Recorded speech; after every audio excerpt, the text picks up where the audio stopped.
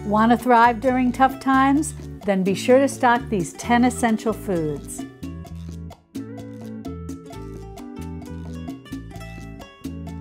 Hi, sweet friends. I'm Mary, and welcome to Mary's Nest, where I teach traditional cooking skills for making nutrient dense foods like bone broth, ferment, sourdough, and more.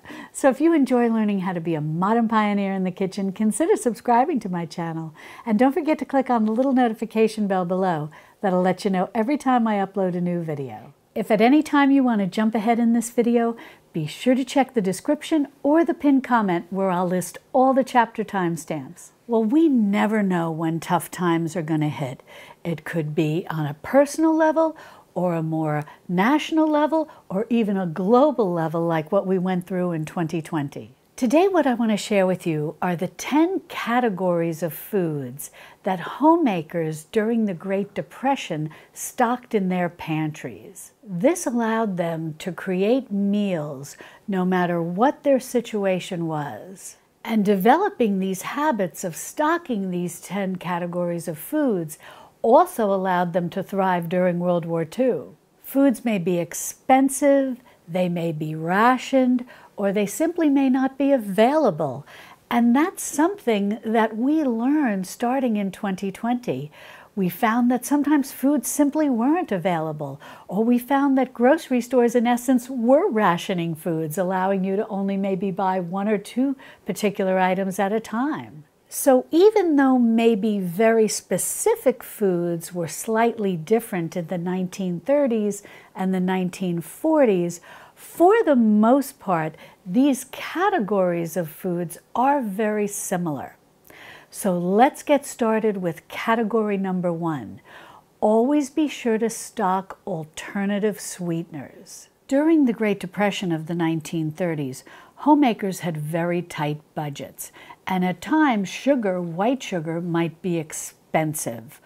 Or they may be waiting on a relief line and had to accept whatever type of sweetener the particular government agency was passing out to them. So, home cooks during that era had to figure out how to cook and bake with different types of sweeteners other than white sugar. Now, this is actually a boon to those of us who run traditional foods kitchens because we want to phase out white sugar over time and phase in alternate sweeter, sweeteners that are more nutritious. Now, does that mean we don't want to have any white sugar in our kitchen? No. Just like home cooks of the 1930s, we want to make sure that we do have some white sugar for our home canning needs. And that's what actually the government encouraged home cooks to do to conserve their white sugar for what they might need when they were making jams, jellies, pickles, whatever the case may be that required white sugar for the home canning process. And as traditional home cooks, White sugar can always serve the role of helping us when we're making a homemade fruit scrap vinegar or a ginger bug to make homemade sodas and so on and so forth.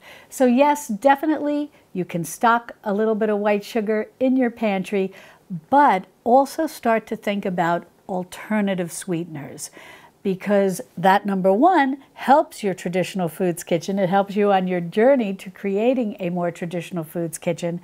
And second, it's always good to know how to cook and bake with alternative sweeteners to improve our nutrition and to also have these foods available to us when white sugar is not available. Or if for any reason the cost of white sugar just goes through the roof. And I just want to take a second to quickly discuss what I mean when I talk about creating a pantry similar to those that we would refer to as a Depression era pantry. If you've been with me a while, you know that I often use the term the Four Corners Pantry. And what that refers to, if you're new here, first of all, welcome. But if you're new here, the Four Corners Pantry means the working pantry, that closet or cabinet, whatever the case may be, in your kitchen that you access usually every day when you're making meals. The second corner will be your refrigerator, the third corner will be your freezer, and then the fourth corner is your extended pantry, or what we nickname the prepper pantry. But the extended pantry is even really more than just a prepper pantry.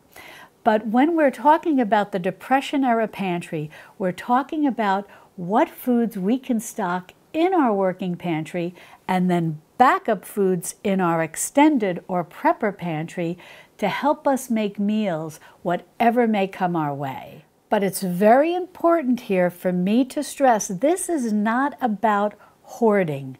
This is about stocking our working pantries and stocking our extended pantries little by little. And I have a whole series of videos on how to do this for as little as an extra $5 a week added to your grocery budget. But that's what you want to do. You want to start stocking little by little by little so that you build up a supply of food that you're comfortable with. It could be a couple of weeks, a couple of months, or at least one year's worth of food. This way, when a trouble strikes, you don't need to be the person rushing to the grocery store and trying to clear the shelves or arriving at the grocery store to find the shelves already cleared. You're not doing that. You're simply shopping each week or month, depending on how you do your grocery shopping, and you're adding a few extra items to your cart. And over time, you will be amazed at how quickly you can build up a significant supply of food so that you never have to be someone who's rushing out at the last minute. You're never hoarding. You're never doing any of that. You're simply preparing a working pantry and an extended pantry or prepper pantry little by little so that you can cope with whatever difficulty may come your way. Now let's talk about these alternate sweeteners. Some of these are very common, very easy to find at your grocery store, and they were very common to our moms and our grandmothers and our great-grandmothers during the Depression as well as during World War II. And I have a lot of recipes that I've put all together in a playlist for you, and I'll be sure to link to those in the description underneath this video as well as the pinned comment, where I show you how to cook and bake with these alternate sweeteners, and specifically molasses, since molasses was a very common sweetener used during the Great Depression and World War II. In World War II, it wasn't so much the concern that people didn't have money or that people uh, couldn't afford white sugar. Most people were working, and so they could afford white sugar, but the drawback was that most of the white sugar, along with uh, most of the wheat, the flour, which we'll talk about in a minute, was sent overseas to feed the troops and our allies. So white sugar was rationed, and again, home cooks were encouraged to save that for their home canning purposes or use in very limited quantities because the sugar that they could get through rationing was in a limited quantity. So when they went to sweeten things, they often used molasses, which, which was both common and inexpensive. So it's kind of the best of both worlds. It was very good during the Depression and it was very good during World War II. And as a matter of fact, and if you've been with me a while, you know I've shared this with you in the past, my grandmother exclusively used molasses as her sweetener. So this is a wonderful sweetener to keep on hand. And it's very nutritious. It's rich in iron. And so that can be a supplement to your diet if you're ever going through very difficult budgetary times and you don't have a lot of meats in your meals. Uh, my mother often, when I was a little girl, would put a teaspoon of molasses in a small glass of milk and have me drink that every day to make sure that I was, in fact, getting enough iron when her grocery budget was very tight. So that's something to keep in mind. Other sweeteners that are usually very handy and very easy to get are honey. Uh, this is sort of a creamed honey. And then over here I have a more pourable liquid honey. This is excellent to keep on hand as well. Now, there's also things like sorghum syrup and rice syrup. These are definitely things that you can consider adding to your working pantry and your extended pantry. And some of the things we have today uh, that are more common to us and would have been less common if even known during the 1930s and 1940s are things like coconut sugar and then sucanat. Some of you, depending where you live in the world, may know this as rapadura. This is simply uh, sugarcane juice that's been dried. It's very unprocessed, so it still has a lot of the nutrients in place. And coconut sugar is very nutritious as well. Over here, another liquid sweetener that's great to have, and this is fairly affordable, and I've been seeing this showing up at grocery stores. Uh, it's becoming a little more common, and that's date syrup. And this is very tasty. And although very similar dark in color like molasses, I find the flavor a little more mild. And then also you can use coconut syrup. Uh, this, like the dried uh, or you know, the, the crystallized form of coconut sugar, uh, both can come in very handy. Uh, these, I know a lot of people who follow the glycemic index like the idea of using uh, coconut syrup or coconut sugar because it is low on the glycemic index. So these are some options for you, especially depending as you move along on the continuum, so to speak, from a processed foods kitchen where you're buying more prepared foods and all of that, and you're moving towards creating more of a traditional foods kitchen, starting with honey and molasses is very easy. Those are very available. I have a lot of recipes for you on how to cook with these, as well as uh, just the internet in general has a lot of recipes on how to make various baked goods using molasses or honey. But then as you move farther along on your traditional foods journey, uh, experimenting with some of these things like date syrup, like coconut syrup, uh, Sucanat is very common. This is very easy. It's a one-to-one -one replacement uh, with white sugar and as is coconut sugar. Uh, so definitely think about, as you progress on your journey, stocking some more of these alternative sweeteners. Now what's great about all of these, I really consider these what I would refer to as forever foods. Even though, yes, they're going to have best by dates on them, because that's something that the various food industries feel it's important to put on because uh, on their packaging because their best by date indicates that that's maybe when the particular food is the most nutritious, the most flavorful, so on and so forth. Here in the United States, the U.S. Department of Agriculture has put out publications discussing what exactly the best by date means. And they've also stated in their various documents that food is good well past the best by date. That yes, it may degrade a little in nutrition, it may degrade a little bit in appearance, it may degrade a little bit in flavor, but it doesn't go bad. It's not necessarily going to make you sick. So that is something that's good to keep in mind when you're stocking foods, especially in your extended or prepper pantry, that some of these do actually have very long shelf lives. Now, there is a caveat with that. You do have to store them correctly. You want to keep them in a cool, dry place, and certainly if the packaging is ever damaged, because you want to keep them in their original packaging, if the packaging is damaged in any way, then yes, the food may be compromised, and yes, you would want to discard it because eating it may make you ill.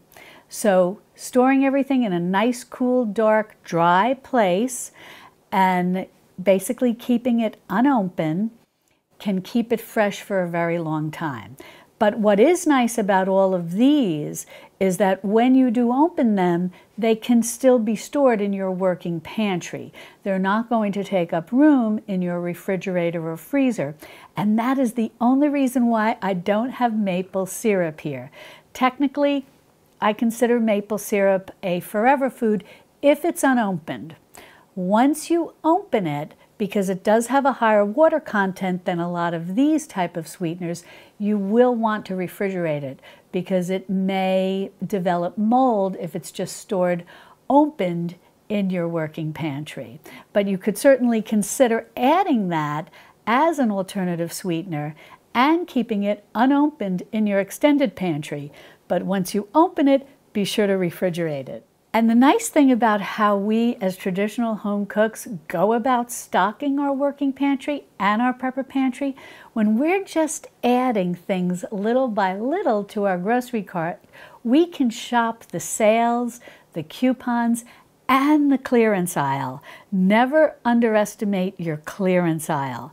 As a matter of fact, I will show you that I found this molasses and they had a whole bunch at my local HEB. Those of you who live in Central Texas know that I shop at HEB and I talk about HEB a lot. Not sponsored, I just like their grocery store. But at my local grocery store and pretty much all the HEBs that I've ever visited have a clearance aisle or a clearance end cap. And I always check that first. That's the first place that I'll go in my grocery store just to see what they might have. It's hit or miss. Sometimes I get very lucky, other times there's really nothing that I could use. But one time they did have this molasses, and what a nice molasses this is. It's a, just an unsulfured organic molasses, and I like the unsulfured molasses. This is made from the mature sugar cane. If you don't really see sulfured molasses. At least I don't see that at my local grocery store. What that means is they've used the immature sugar cane to make the molasses, and so they have to add sulfur to it to preserve it, whereas mature sugar cane doesn't need to be sulfured. And the less additions we have, whenever we're buying anything for our traditional foods kitchen, the better. Uh, and as I said, this one is unsulfured and was organic, and it was at the clearance aisle, and it was only $1.43. And so I was very happy to find this, and they had like cases of it. Uh, and so I got a couple and, and put, I've got this one has been opened and, and used when I was sharing with you recently how to make the war cake and how to make the peanut butter bread. I'll be sure to link to those uh, videos and they have printable recipes. But I bought a couple that I've got in my extended pantry because this was a very good buy. And I, the reason I like the unsulfured molasses is it has a mild flavor. Uh, if you're going to be baking or cooking with molasses, I highly recommend using unsulfured molasses. Blackstrap molasses, yes, is more nutritious, but it's also more concentrated because I believe blackstrap molasses is boiled down three times. If, uh, if you know more about the process of making blackstrap molasses, be sure to share that in the comments below. But because of that concentration, the taste is rather strong, and the taste can, to many, appear bitter. And so that can transfer into uh, your baked goods. But I have found that baking with unsulfured molasses does not transfer a strong molasses flavor at all. Uh, I found both in the peanut butter bread, the peanut uh, butter, the peanut butter flavor really uh, came through beautifully. And in the war cake, I didn't taste the molasses at all. There's so many wonderful spices added to it. So definitely uh, keep your eyes open for unsulfured molasses. I highly recommend using it. And the nice thing about using unsulfured molasses is that this is very easy to cook and bake with. You can, you know, it's a, a must have, in my humble opinion, for baked beans and barbecue sauces. But if you are of the mindset or the camp, so to speak, of people who don't like to cook or heat honey, then molasses should become your go to sweetener as an alternative to using white sugar in your recipes. Uh, when I bake with honey, I generally look for something that is a pourable honey, and this is raw and unfiltered. I just got a good buy on this, you know, it's the Kirkland brand. So I've got this, but generally, if it's just a regular pourable honey, I don't worry if it's raw or unfiltered or any of that, especially if I'm going to be heating it, because yes, heating does damage the various benefits uh, that raw and unfiltered honey offer. But if I can find a local honey, uh, we have a honey company that's right up here, uh, right up the road outside of Austin in Round Rock, and they have a nice uh, honey. And I know that it's not been cut with anything else. I know you have to be careful. Some honeys at the grocery store can be a little misleading because they may not necessarily just be pure honey. Uh, but if you're comfortable baking with honey and you find just a pourable honey doesn't need to be raw, doesn't need to be unfiltered, uh, but just make sure that you're buying it from a source that it is actually honey. But I recommend when it comes to the raw and the unfiltered that we do reserve this for situations where we're not going to be heating it. Now don't worry, you don't need to write any of this down because I'm going to have a free download for you, no email required, that you can print out over on my website. I'll list all the 10 categories of foods that you want to stock in your pantry and in your prepper pantry, and I'll also spread it out over the course of four weeks where you can check off what you've bought to add to your pantry little by little. Number two for your Depression era pantry, alternate flours and whole grains. Now, during the Great Depression, as well as going into World War II, sometimes white flour was not always available. It either might be expensive, it might be difficult to find, or going into World War II, as we discussed with the sugar, it may also have been rationed. So often, home cooks during those eras needed to learn how to bake and cook with alternate flours and alternate whole grains. But just like was the case with white sugar and how home cooks needed to learn how to bake and cook with alternate sweeteners, learning how to bake and cook with alternate flours and alternate whole grains is also a boon to those of us who run a traditional foods kitchen because we want to move away from always relying on white flour or bread flour where all the bran and the germ, all the nutrition has been sifted out of.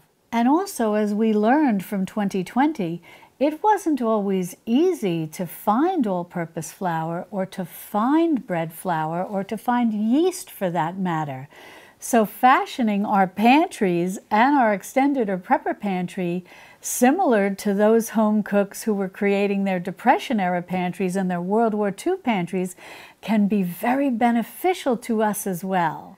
Stocking alternate flours and alternate whole grains can see us through those times when we can't get all purpose flour or we can't get bread flour. But it also helps us create more nutritious baked goods. Now, yes, if you're doing a lot of sourdough and you're improving its nutrition, you're improving the nutrition of all purpose flour and bread flour by making sourdough bread out of it, that's great. But what if we can't find the all purpose flour and we can't find the bread flour, but we can find and stock alternate flours and alternate whole grains? Learning how to bake with these can get us through very difficult times. I have a whole series of videos where I talk about how to properly store food in general in your prepper pantry and specifically a video that focuses on storing whole grains.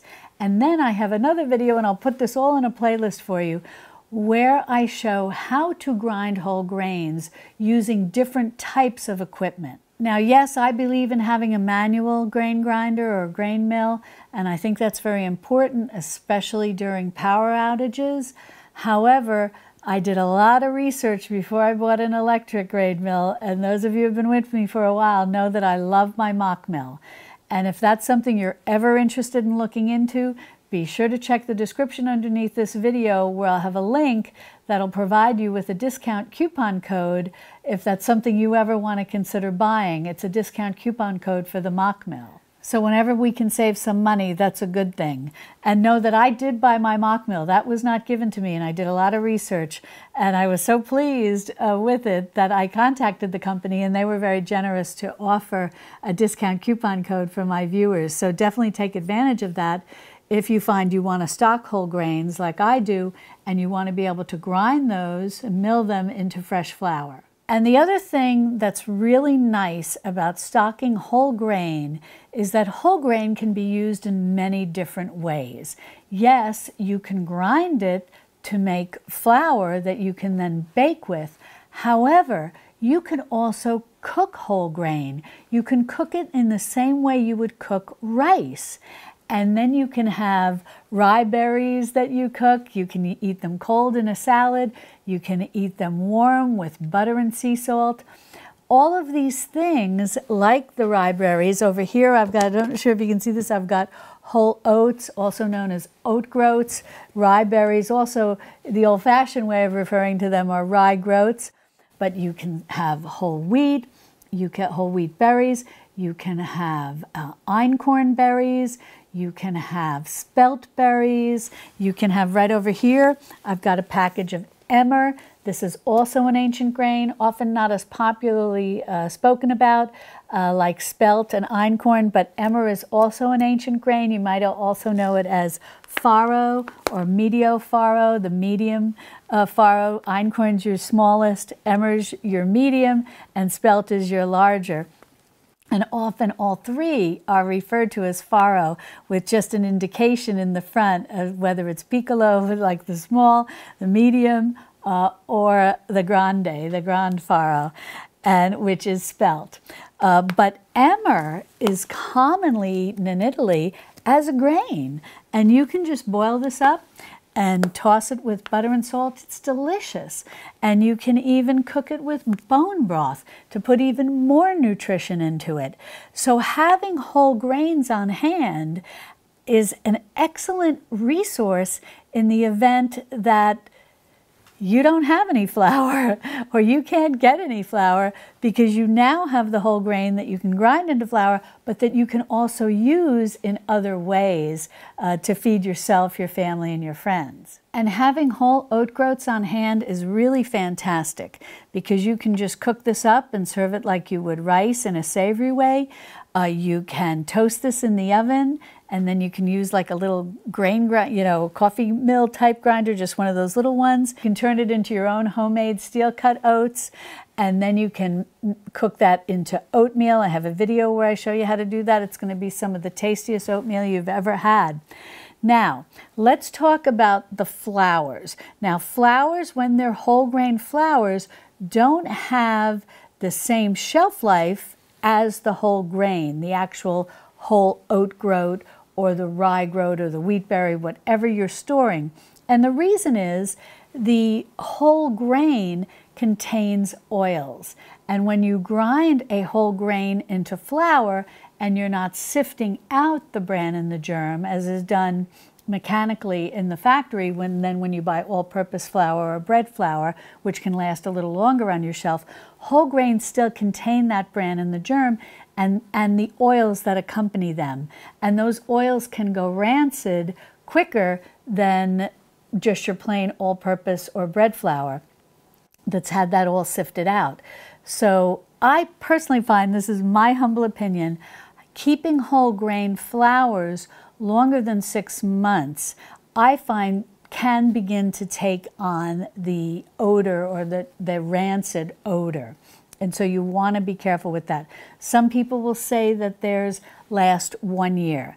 Now, should you be putting them in the refrigerator, in the freezer? I don't really like doing that. I find it affects the moisture content, which then affects how they bake. So I will just store them in a cool, dry place and try to use my flours up within one within six months.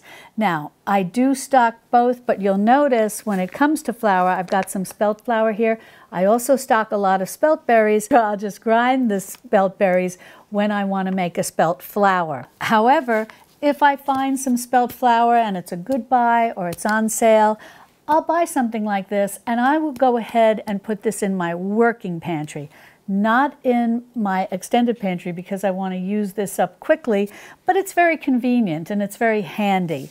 So by all means, can you stock whole grain flours? Yes, but I highly recommend that you keep them in uh, your working pantry. And if you require only baking in your home with gluten-free flours, you may want to consider stocking those gluten-free grains. And I have a video where I go over all of this for you, all the whole bandwagon, so to speak, of gluten-free grains.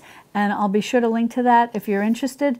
But again, if you want to buy various gluten-free flours, like this one is made from chickpeas. And I will just store something like this right in my working pantry. Now, we're not a gluten-free household. Uh, but there are some fun recipes to make of various things uh, that require chickpea flour. So I will keep this handy.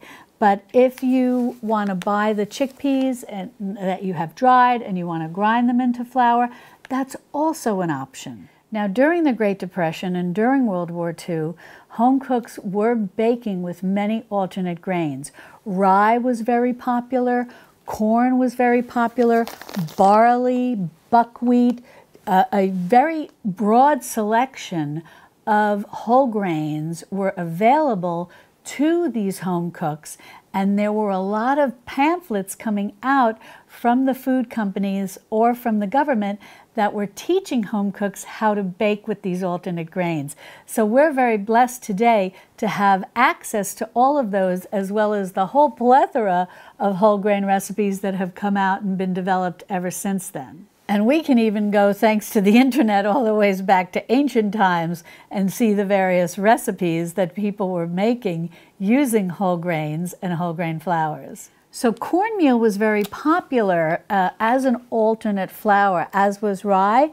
Uh, but I also like to stock, and this is probably something that you want to think about, is stocking masa harina. And this is a type of cornmeal flour uh, that is specifically made for making corn tortillas, which of course in Texas is very popular, but I think that's almost become very popular around the world today.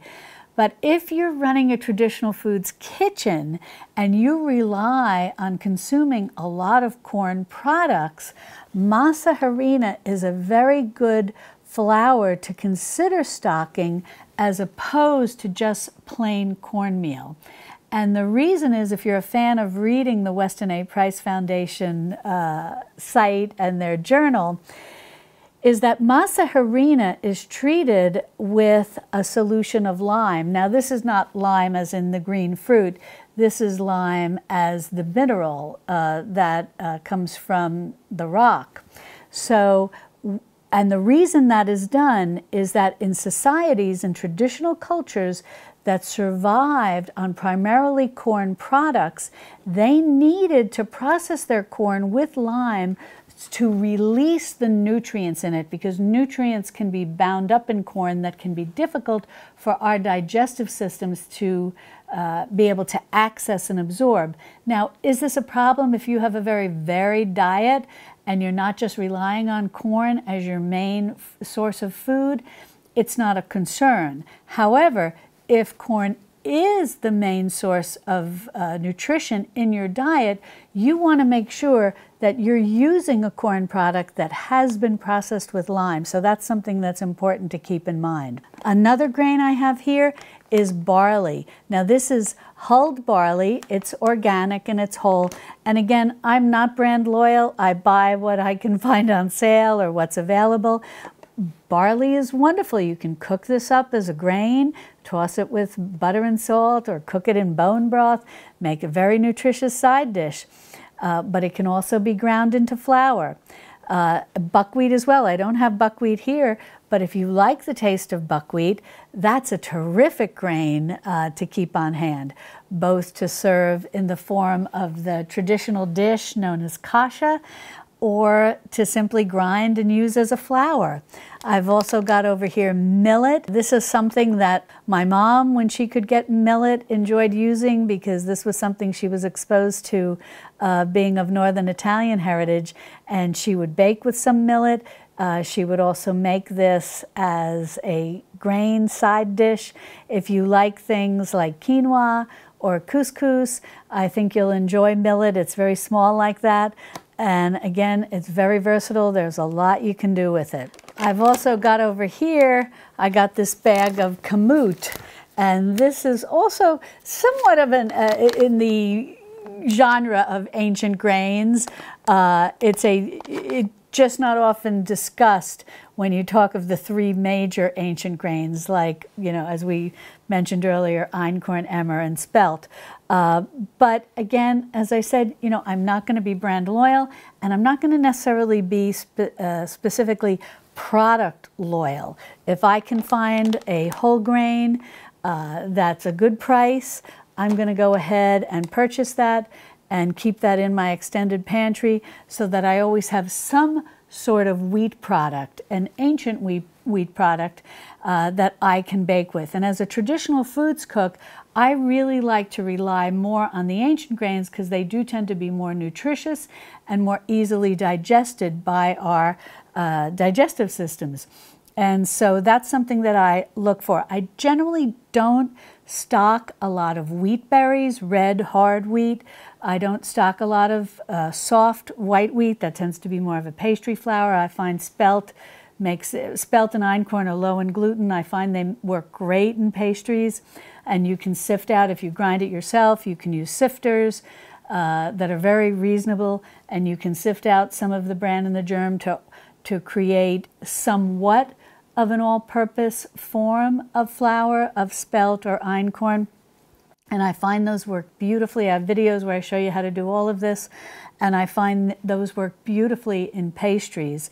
Uh, also, uh, I find that having ancient grains in a traditional foods kitchen gives me the, the comfort level or the knowledge level of knowing that I'm serving to myself, my family, and my friends uh, foods that are more nutritious than the more hybridized wheats. So that's why I tend to not rely on uh, stocking a lot of hard red wheat berries, which is usually what uh, your typical whole wheat flour at the grocery store is made from. Today, there's also the hard white wheat berries that make the what's referred to as the white whole wheat. It is a whole grain flour, but it's white and uh, the, the actual grain is a little lighter in color. Not that a red wheat berry really looks red, it's just more of a darker brown. And the uh, hard white wheat berry is a little lighter in color. It makes a little lighter flour, makes a little lighter baked good, but one that is still whole grain. But even so, those are modern wheats, so I tend not to stock those. But if that's something that you want, by all means, stock the whole grain and consider looking into having some type of grain mill so that you can grind your flour fresh. And yes, are there differences when you bake with freshly milled uh, flour as opposed to store-bought flour? Yes. And I actually went into a lot of discussion about that in my war cake video, the video that I recently put out. And the answer is there's no real clear answer. Uh, and it a lot depends on what type of grain you're grinding, whether it's a very thirsty grain or whether it's a more high moisture grain. Do you need to add a little extra water? Do you need to pull back a little on the water? There's a lot going on when it comes to baking with freshly milled flour because a lot depends on what type of grain you're baking with. Most of the advice shared on the internet will usually refer to someone who's baking with freshly milled flour from hard red wheat berries.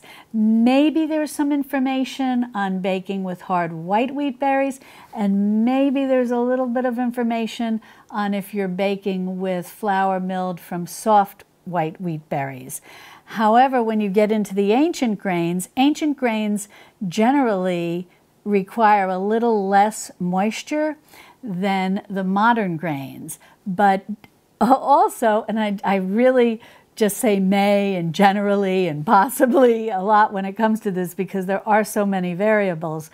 But generally, freshly milled grains will require a little extra moisture. However, how much moisture is required will often depend on what type of grain you're grinding. And your ancient grains tend to require less additional moisture than your more modern grains.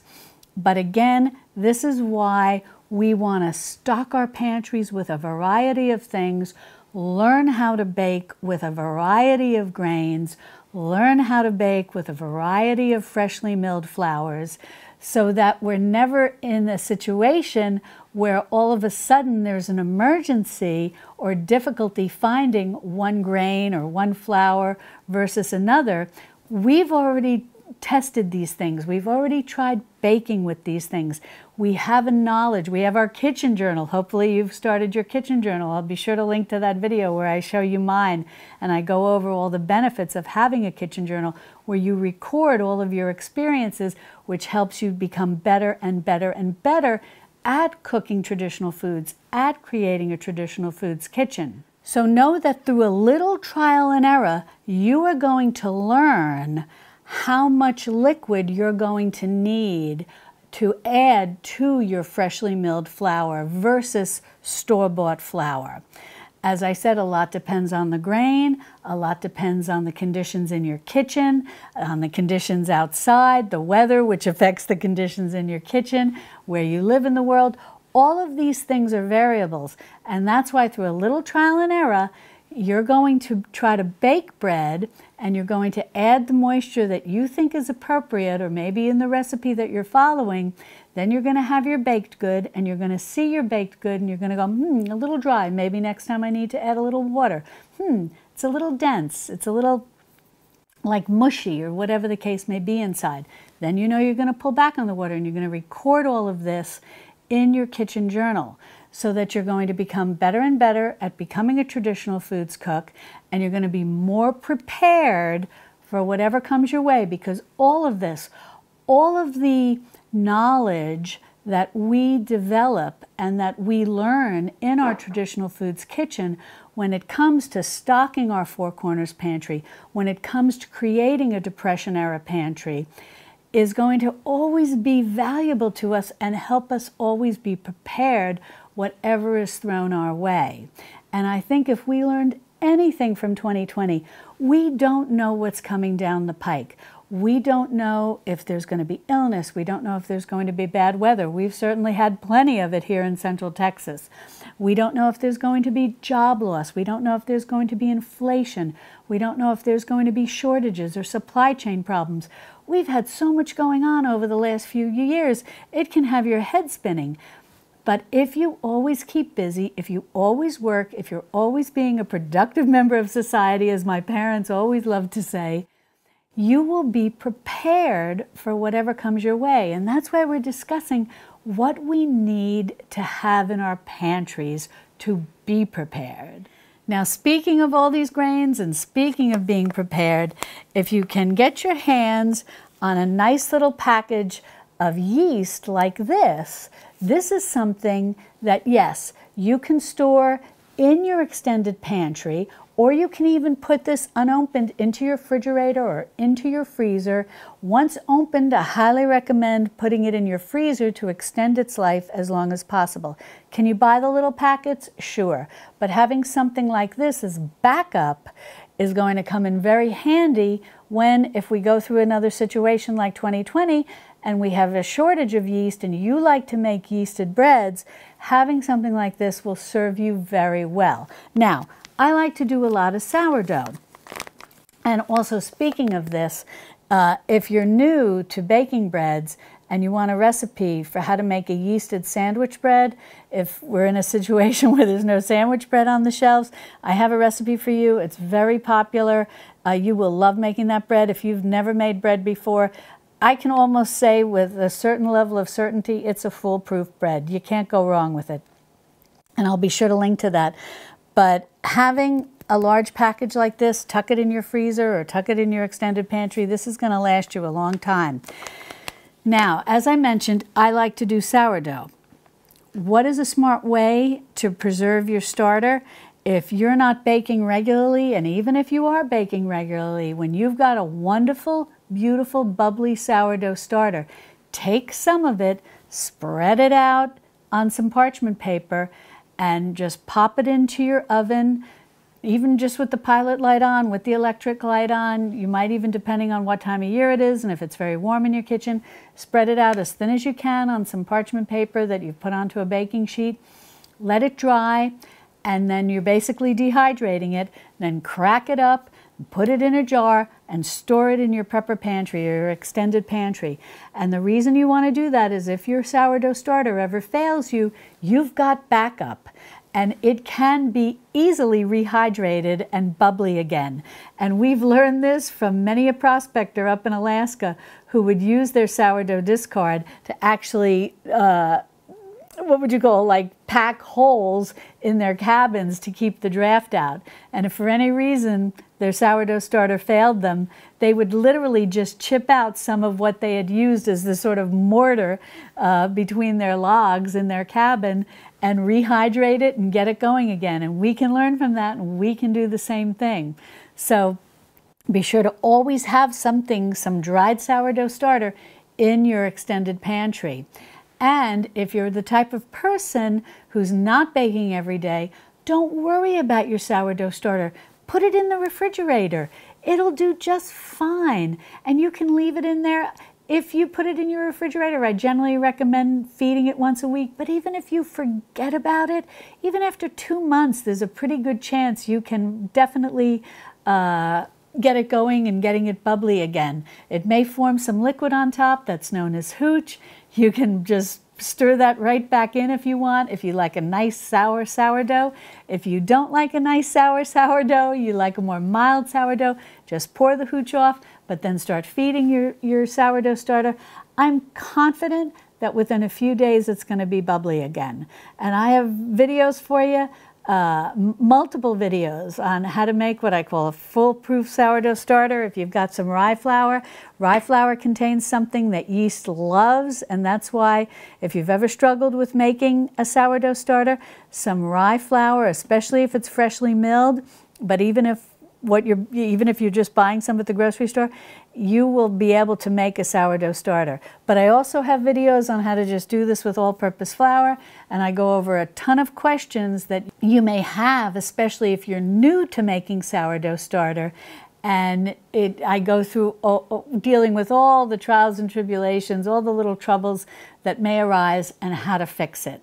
But don't throw it out. I really feel in most cases no matter what's gone wrong with your sourdough starter, it can be salvaged. And uh, if you have salvaged many a sourdough starter, let me know in the comments below. Uh, and also be sure to read the comments. If all of this is new to you, uh, the pantry and baking with alternative grains, baking or cooking with alternative sweeteners, uh, stocking a pantry, creating a traditional foods kitchen. You will love reading what everyone shares in the comments. We have a wonderful community here, and everyone is so generous and so free in sharing their knowledge. So be sure to be sure to uh, check the comments, put your questions down there. Uh, we're all here to help you, especially if you're new to this. Now, I just want to mention one thing about keeping semolina flour on hand. This is a wonderful flour to keep on hand if you like to make homemade pasta. You should not be using all-purpose flour to make homemade pasta. If you've ever looked at the spaghetti boxes at your local grocery store, the first ingredient will usually say durum semolina. And that is exactly what this is and what you want to make your homemade pasta with. It's much more nutritious than all-purpose flour. What semolina is, is the middlings, as, as it's referred to, when durum flour is milled into a more all-purpose form of flour. And these middlings have a little bit of the bran, a little bit of the germ, a little bit of the endosperm. It's sort of a mixture. But semolina is very nutritious.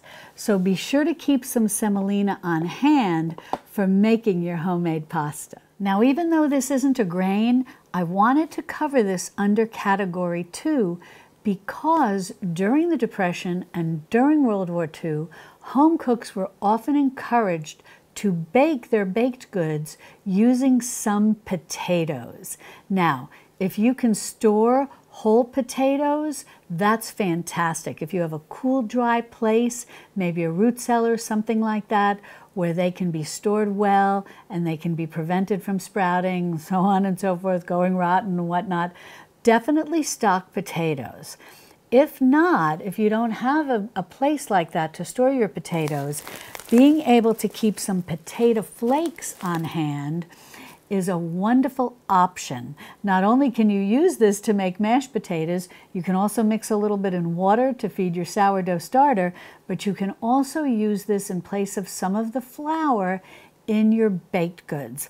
My friend Michelle shows you how to bake with potatoes. She's over at Chocolate Box Cottage, and I will be sure to put the link to her recipe and her video in the description underneath this video or in the pinned comment. Might be easier for you to access. Uh, but learning how to substitute some flour with either some mashed potatoes or some potato flakes like this is really going to be a boon to your traditional foods kitchen. It's going to help you save money. It's going to add nutrition. Potatoes are very nutritious. It's going to add nutrition to your baked goods and it's going to help you learn how to limit using white flour or bread flour in your various recipes. And it's also going to help you preserve some of your whole grain when you're baking with whole grain flour that you've milled from your whole grains that you're storing. So potatoes and potato flakes can be a boon to the traditional foods kitchen and also a boon to your grocery budget and preserving your money. Category number three, rice and dried beans. First, let's take a minute to talk about rice.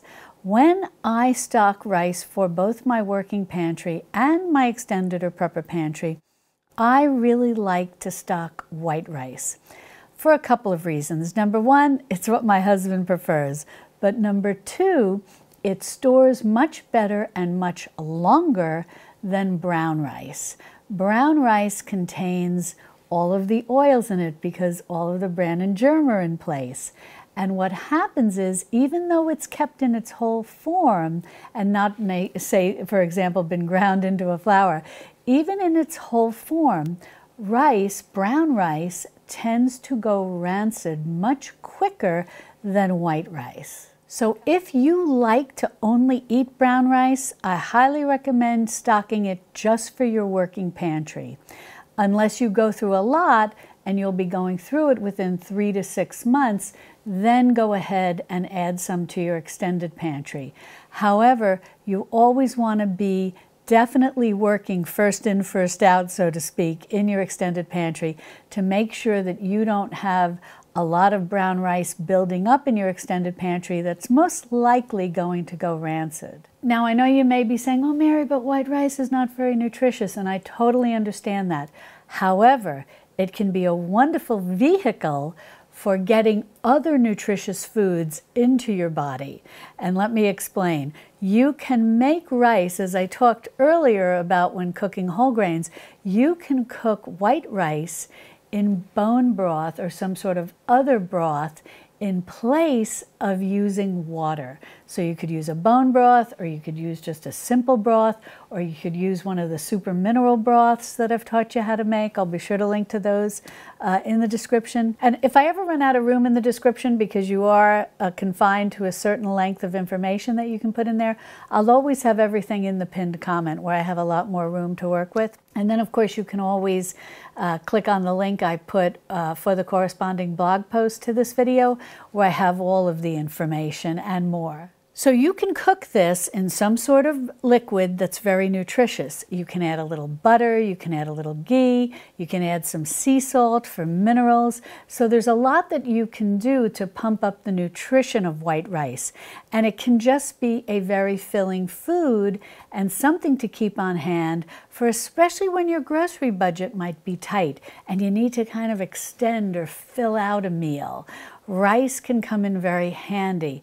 And using some bone broth in place of water can also be very affordable because if you make chicken bone broth from the carcass of your chicken, which I've shown you how to do in the past, it literally costs pennies to make. You're going to be using vegetable scraps and a chicken carcass, and you have this wonderful, nutritious bone broth that now can pump up all the nutrition of white rice. Now, I'm not brand loyal, uh, we do like this basmati rice, and if I see this on sale at my grocery store, I'll buy it. A while back, they had this particular rice, Four Sisters. I, you know, again, I, none of these brands are sponsored of anything I'm going to show you. And I'm not brand loyal. I just buy uh, what's ever on sale or on clearance. Or sometimes my grocery store will be discontinuing something and they'll really slash the price. And the price was really slashed on this particular brand. So I bought a couple of bags of this.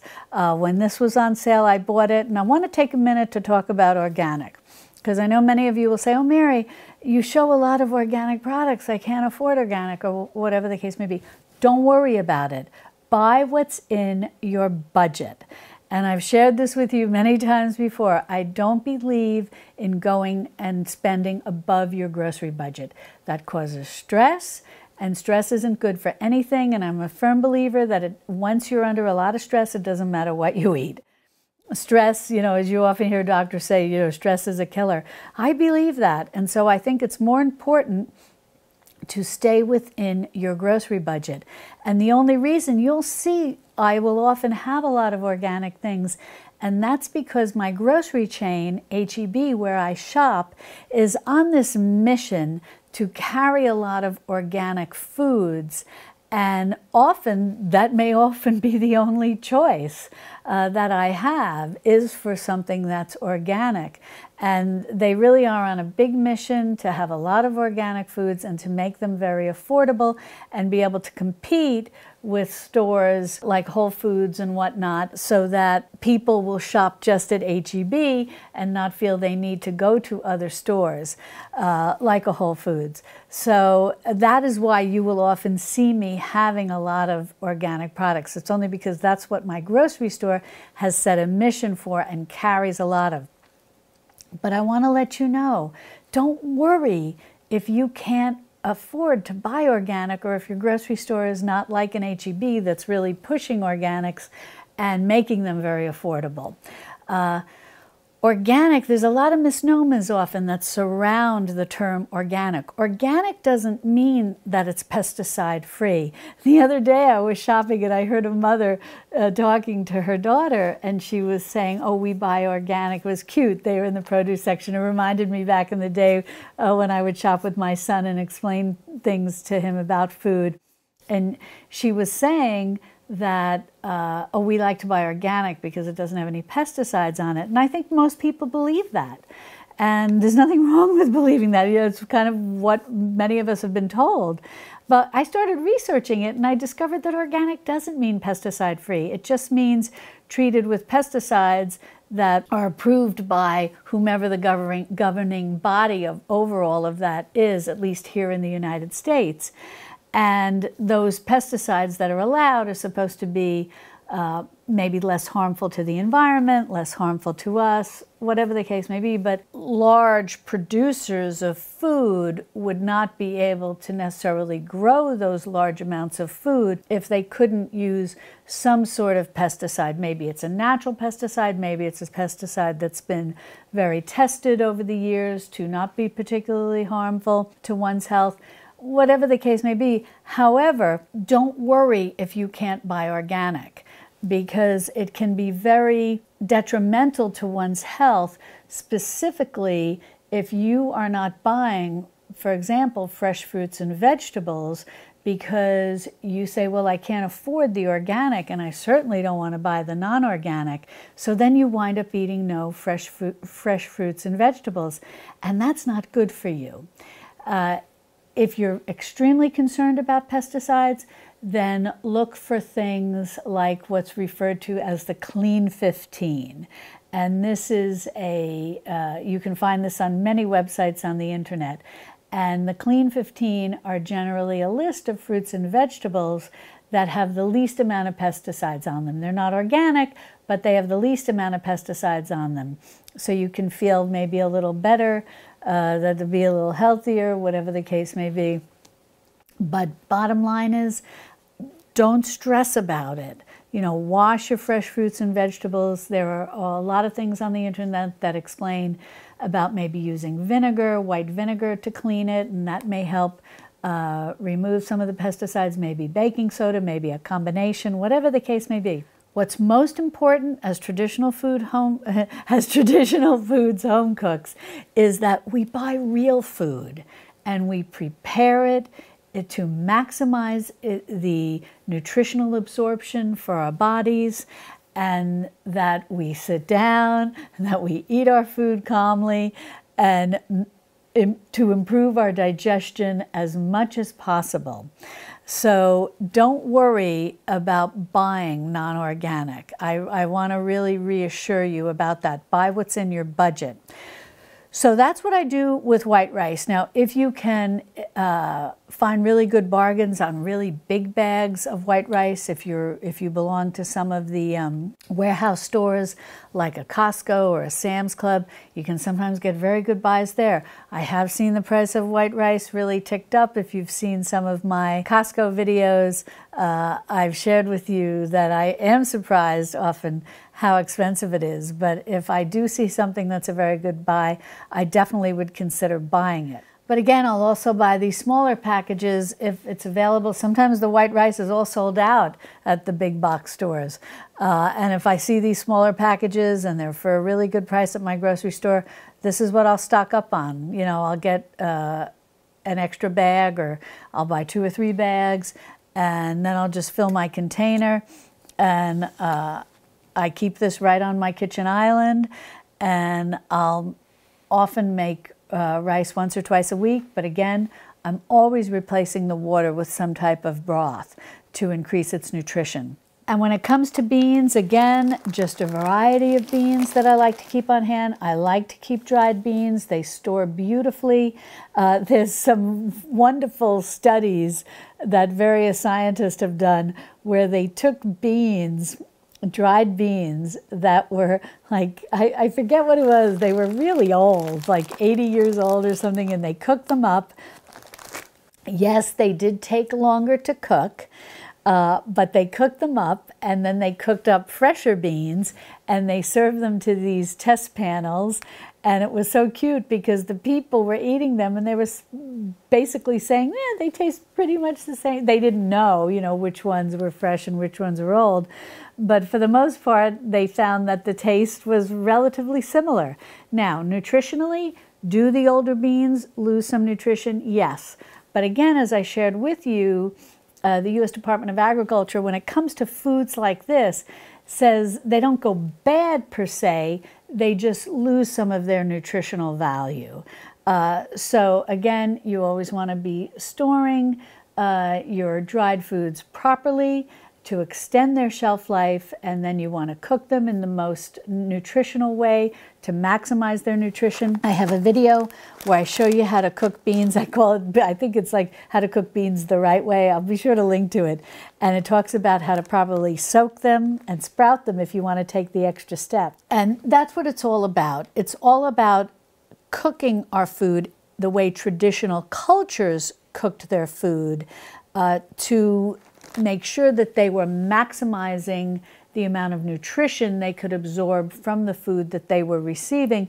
And that's especially important during tough times, during those times when the food we are bringing into our home may be somewhat limited for whatever reason shortages, supply chain problems, limits on what the grocery store is allowing us to buy because of, of uh, supply chain problems and so on and so forth. The simple reason that we may be living like we are now through inflationary times when groceries are very expensive.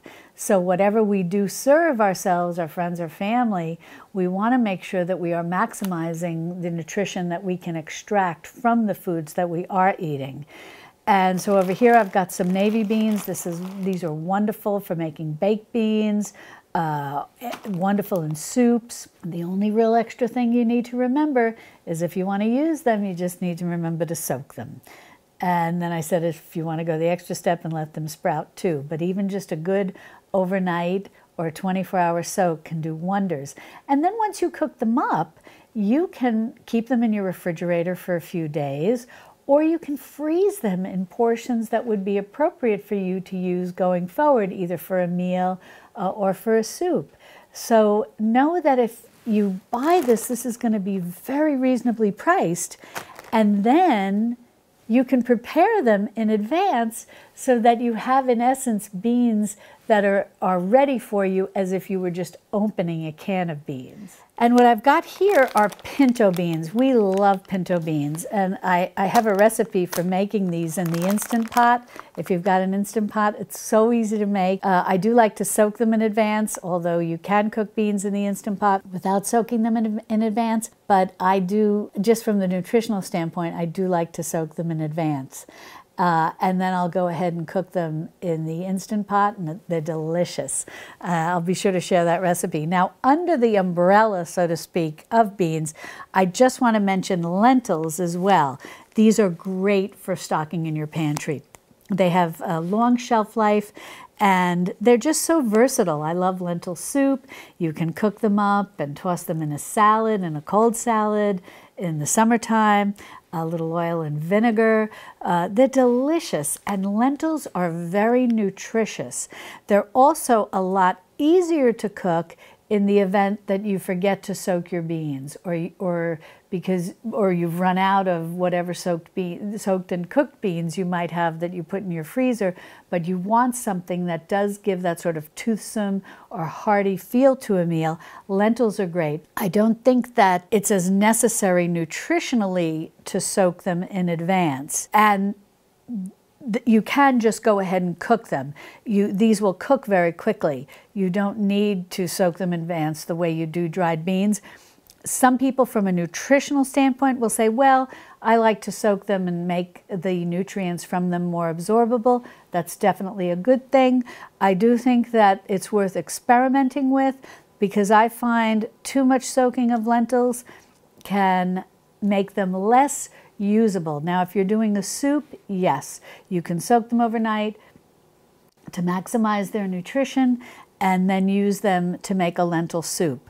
If you're going to be using lentils to uh, toss in a salad so that you still want them to have some good texture, some firmness to them, uh, I think just cooking them up right away. You can always cook them in a little bone broth or broth or super mineral broth if you want to keep it more vegetarian and then tossing them into uh, with a little oil and vinegar making a little salad like that like you might with any grain quinoa couscous if you want to do a tabbouleh but instead of the cracked wheat you want to use lentils that can be wonderful. So i highly i love lentils so i always like to make sure that i do stock some of these. Now these are all the things that are dried they're very affordable. They're very easy to keep, whether in your working pantry or your extended pantry. They have long shelf life, so on and so forth. But from a convenience standpoint, if you want to keep some canned beans on hand, I am definitely a supporter of that. I'm not going to criticize you. I know I was basically talking about rice and dried beans. But I do feel that if you can find some good buys on, on beans that are in the can, these are very, these to me are a convenience food. And as I said, the U.S. Department of Agriculture uh, will say that stored correctly and if the can is in good working condition, this has a very long shelf life, way past the best by date. The only thing that you may find is some degrading in nutrition and taste. So that's, you're going to have to kind of play it by ear.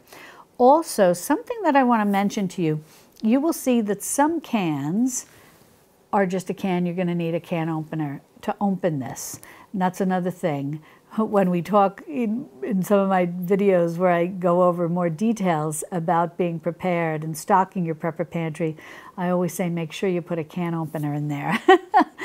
but some cans do come like this with the pull tab. And through some research, I've learned that the shelf life of, in terms of, as I said, you know, the U.S. Department of Agriculture will say these are fine past the best by date. Uh, However, after doing some research, I discovered that the nutritional value, texture, taste, so on and so forth, may be preserved better in your traditional can. That these pop top type cans may not preserve the food as well as the traditional cans.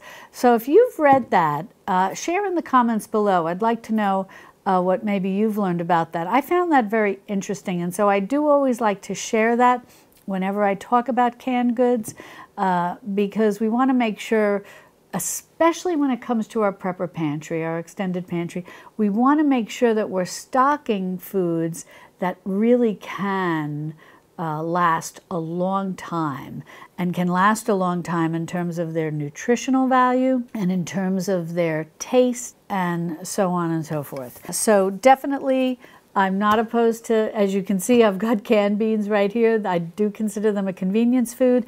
So along with your rice and your dried beans, your dried lentils, by all means consider putting some canned beans into your uh, pantry as well. And canned goods, no matter what type of canned goods you stock, is something that we can really learn from when we look back at the Depression, when we look back at World War II, how home cooks were stocking their pantries.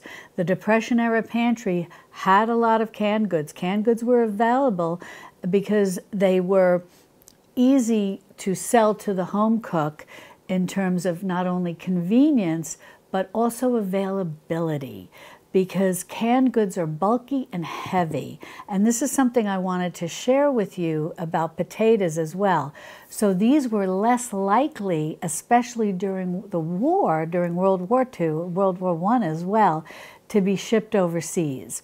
So canned goods were more available to home cooks, just like potatoes. And that's why I mentioned about potatoes being used for baked goods and the government here in the United States encouraging home cooks to learn how to not only cook with potatoes in very inventive and clever ways as well as delicious ways, but also how to use potatoes when baking bread in place of flour to conserve the flour. And the reason was there was an abundance of potatoes here in the United States because they were bulky and heavy and less likely to be shipped overseas. Things to be shipped overseas were foods that people needed right away and that could be made into bread. Bread was very uh, and much in need along with other foods as well. But potatoes and canned goods would have taken up a lot of space for other foods that were what was desired for the needs for the troops and our allies.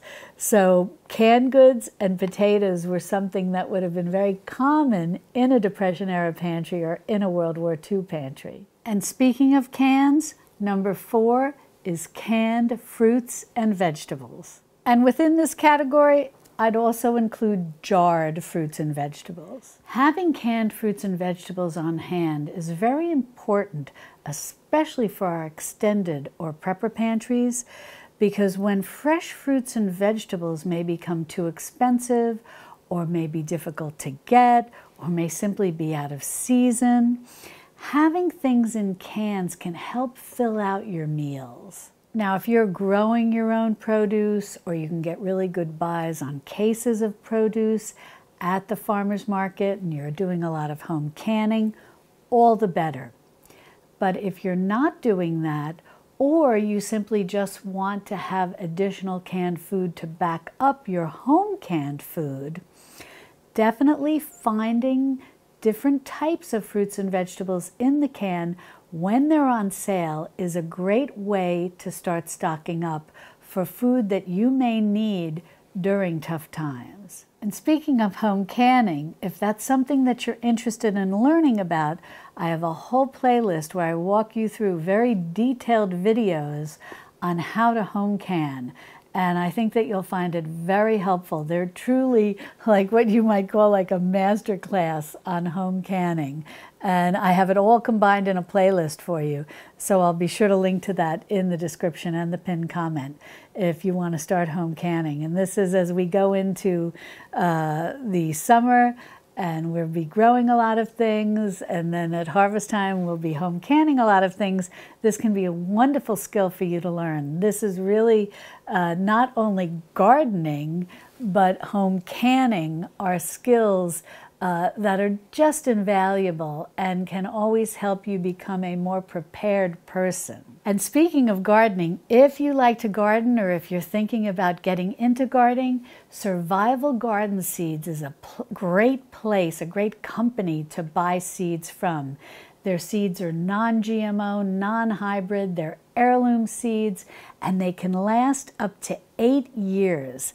And they have three wonderful collections of seeds. And what's even better is that they have provided a discount coupon code for my viewers. So I will be sure to put a link to that in the description and in the pinned comment.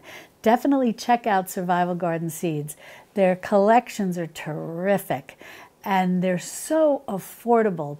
They make wonderful gifts and they make wonderful seeds to grow now as well as to store in your extended or prepper pantry. But no matter what you do, if you garden, great. If you shop at the farmer's market to buy in bulk, great. If you home can, great. Definitely consider keeping some canned goods on hand as well. Store-bought canned goods. Uh, I like to keep fruit. I usually have peaches and pears. These are wonderful, topped on oatmeal. And again, I just want to show you, I am not brand loyal. I've got the Hill Country Fair brand here, which is HEB brand, and then I've got more of the name brand. It really was a matter of what was on sale or what I had a coupon for. Any type of vegetables uh, that you can find uh, in addition to having some canned beans, maybe some canned corn, things like that. Having canned string beans is wonderful. Also canned tomatoes in any form. These baby Romas are adorable. I, I got these because they were they were on sale. They had a coupon. and the same with these crushed tomatoes. Tomatoes in any form are going to be wonderful because tomatoes are a meal extender. You can fill things out with tomatoes and pull back on your more expensive items like meat. And I have a video where I share with you my top favorite, I think they're my seven favorite meal extenders, like tomatoes, like oats that we talked about earlier. And I will definitely link to that video.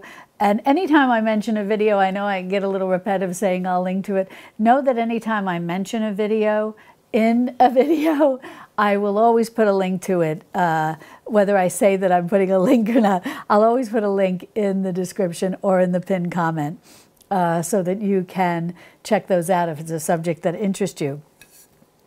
Also, in addition to canned items, if you can find uh, tomatoes in a jar, there are even fruits sold in jars now. This is very nice. Uh, if you find that you prefer to store glass as opposed to things in cans, there are a lot of options today. And this, again, uh, you'll get a kick out of this. I found this on the clearance aisle at my local grocery store. And this is actually a tomato sauce. Again, this is a convenient food, a convenience food. I make most of my tomato sauce homemade. But every once in a while, if you're tired, uh, maybe if you're under the weather and your family's got to do the cooking, and maybe they're generally not the, as I refer to myself as the chief cook and bottle washer in the family, uh, if they're not, uh, you know, experienced home cooks, if that's really not their job in the family, my husband can cook a few things, but cooking is not his main responsibility. It's not his main role in the family. The same with my son. When he's vi visiting, certainly there are things he can cook, but that's not his main job in the family. And so uh, having things like this, that they can boil up some pasta, uh, this came in especially helpful uh, when I had that pesky virus uh, back in 2021 and I was under the weather for about a week. Having a jarred tomato sauce can come in very handy for my family because they can boil up a little pasta, warm up some pasta sauce, and they're all set. Now, yes, do I keep some homemade pasta sauces in my freezer? Yes, definitely. I think right now I've got two uh, frozen packages of a wonderful homemade bolognese sauce However, if they just want to be fast, fast, and maybe they've not thought to defrost that, pop this open. I got this on clearance for $1.63. I know normally this is a very expensive pasta sauce, so you don't necessarily need to buy this one. But any pasta sauce that you see on sale at your grocery store, pick up a couple of jars. Put it in your working pantry if you rely on something like this on a regular basis, or put it into your extended pantry if you only use it, you know, as a real convenience food or in an emergency. And again, but always be remembering the first in, first out.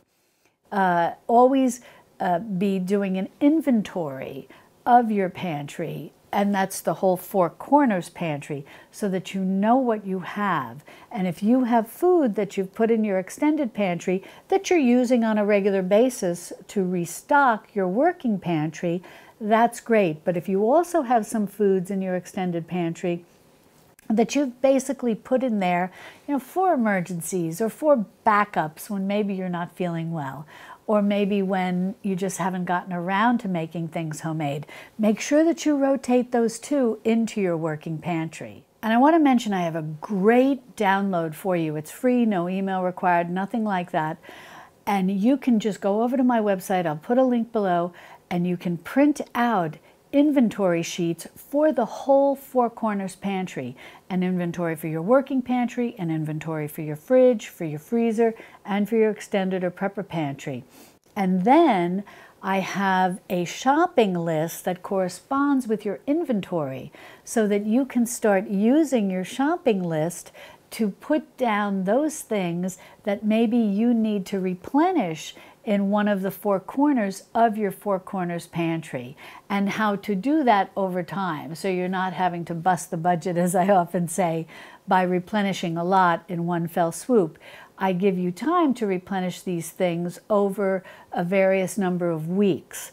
And so I think that those downloads can be extremely helpful helpful to you to keep on top of your inventory. I make it very easy for you to do the inventory and I make it very easy for you to, to keep track of what you need to replenish in your Four Corners pantry. So be sure to download that. I think that you will find that so helpful. And no email. You just click on it, boom, it's right there and you can download it. So be sure to keep some canned goods in both your working pantry and your prepper pantry. Number five, canned meats, chicken, and fish. Now what I have here is primarily some canned chicken and then various canned fish. I don't have any canned meat like a roast beef in the can because I've simply not been able to get it. This is a sign, as I mentioned earlier, of things that may be in short supply for various reasons.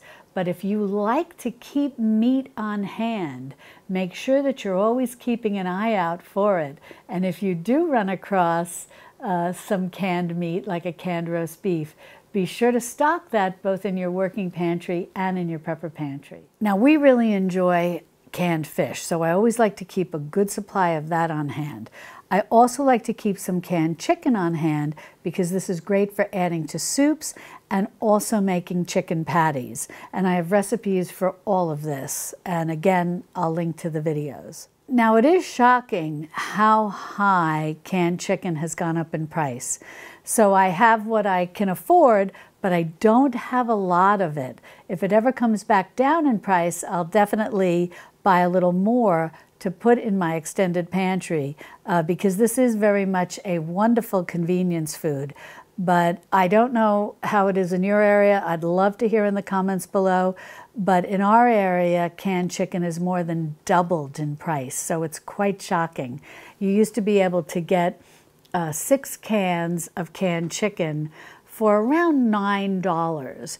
Now, six cans of canned chicken can run over $20. So that's a significant increase in price. And also one that makes it less valuable to stock because I would rather buy a whole chicken and then use the various little bits and bobs that I can pull off of it after we've uh, eaten some of it. You know, I'll buy like a whole roast chicken and then after we've eaten some of it, uh, we'll have the leftovers, and then any little bits and bobs I have left over on it, I'll pull those off and use those in a soup. Uh, but yes, this is very convenient, so I do keep a few cans on hand. But again, I have to be very judicious about it uh, in terms of how I allot how much I'm going to buy uh, based on my grocery budget because it is quite expensive. Canned fish, on the other hand, is a little more reasonable. Uh, it has gone up in price. Um, I'm a little surprised. Kippers have actually doubled in price. However, they were 98 cents and now we pay about $1.98 for them. So they're still relatively uh, reasonable since they're very nutritious. This is a nutrient dense food. It's very high in omega 3 and we find them very tasty. If you've not tried them, I know some of you will say, Mary, kippers, what the heck are kippers? it's smoked herring, it's really delicious, and we will serve this with some rice that I've cooked, as I mentioned earlier, white rice that I've cooked in broth with uh, some butter and some sea salt. We'll have our kippers, and then I'll serve maybe some pickled or fermented vegetables on the sides. Very nutritious, very nutrient dense, nutrient rich meal, and a relatively affordable meal. Now, I do have some salmon here. I don't have a lot of salmon. Canned salmon, maybe you've noticed this in your area as well, has become quite costly, uh, but we can enjoy this right out of the can, or I can use this to make salmon patties. Again, you know, I have recipes for all of this for you.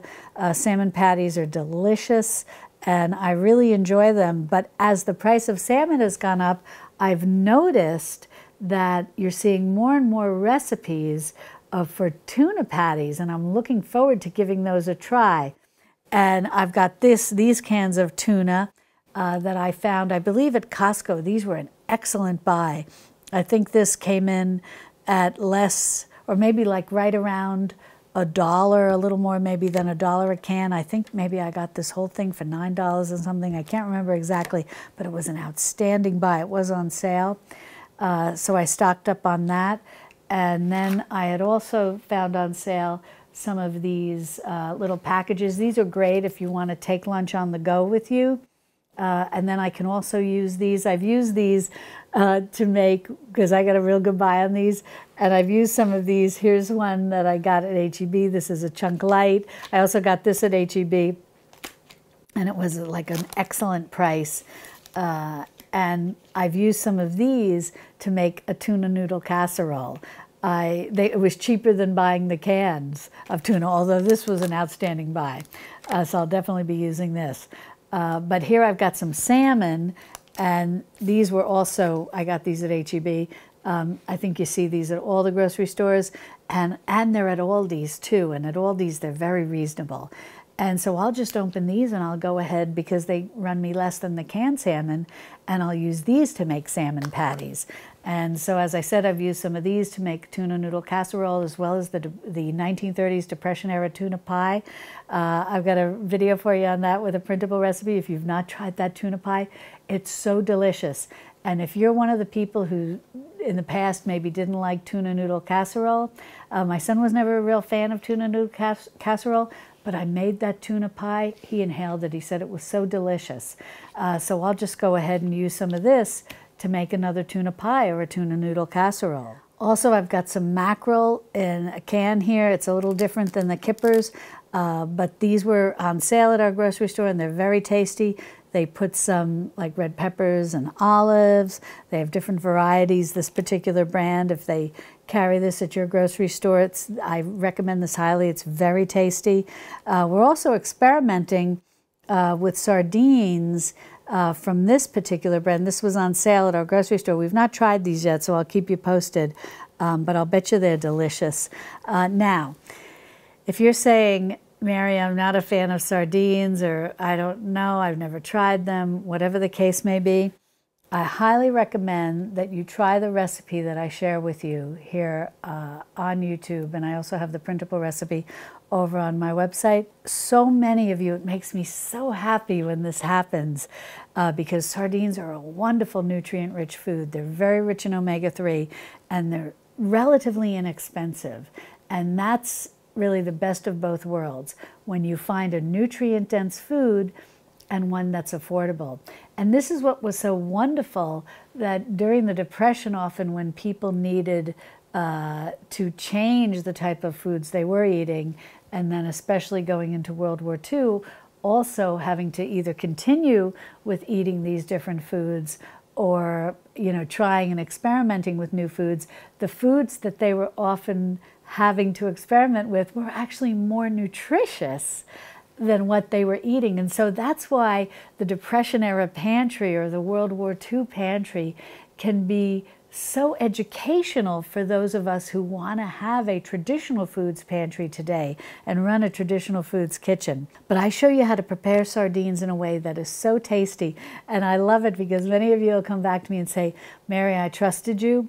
I didn't never like sardines, or I would just look at them and I couldn't even imagine eating them, but I trusted you. I made them the way that you showed me how to make them, and they were delicious. And now you're all eating them. And I, that brings me so much joy because it's such a nutrient dense food, and I know that you're getting a lot of good nutrition. Uh, but it, and sardines are still relatively affordable. And if you can find them, if your grocery store, I actually got this at my grocery store. This is not from a big box store if you can find them where they put four cans in a box like this, it's a little less expensive per ounce than just buying the individual box. Uh, so keep keep an, a lookout for this because once you find you like sardines, uh, and I can eat them right out of the can. I love them. and my father used to say that if you put sardines with red pickled onions on rye bread, that's just got to be one of the most delicious sandwiches in the world. So give that a try too. They are wonderful with red pickled onions. So uh, keep your eyes open. Here is this is another brand of Kipper snacks. As I said, we're not brand loyal. We find pretty much all Kippers taste the same. They taste great, and we really just go by what's on sale or that we have a coupon with, and then we'll just stock up. And what's nice is all of these do have a very long shelf life. They have very uh, extended out, so to speak, best by dates, so that's good right there. And then, as we've discussed with the U.S. Department of Agriculture, that canned goods really, in their opinion, uh, don't go bad. They just may degrade a little in nutrition. So, stocking up on canned foods like this that are high in protein and others specifically that are high in the omega-3. You may be wondering, Mary, why are you, uh, you know, stressing this omega-3 business? If you're new to running a traditional foods kitchen, omega-3 is an essential fatty acid. Often you'll hear of it um, being spoken of uh, it contained in salmon. It's very good. Scientists tell us it's very good for heart health. It's very good for our brain. It's just very good for our overall nutrition. But buying fresh salmon is not always uh, something that's available to everyone. Uh, fresh salmon can be very expensive. Even canned salmon is becoming very expensive. But the good news is there are a lot of other fish like kippers, the mackerel, both which are, you know, both high in omega-3s and both affordable. Sardines, very rich in omega-3. So there are options available to you that'll fit within your grocery budget and that are very nutrition, nutritious and that are high in omega 3s. These are all nutrient dense foods. And if a lot of foods like this are new to you, I highly recommend that before you try to stock up, just buy one can and try it and see what you think. If you don't like it, you don't have to rush out and say, oh, well, I better have it just in case. You know, there is a certain extent to the truth of buy what you think you're going to eat.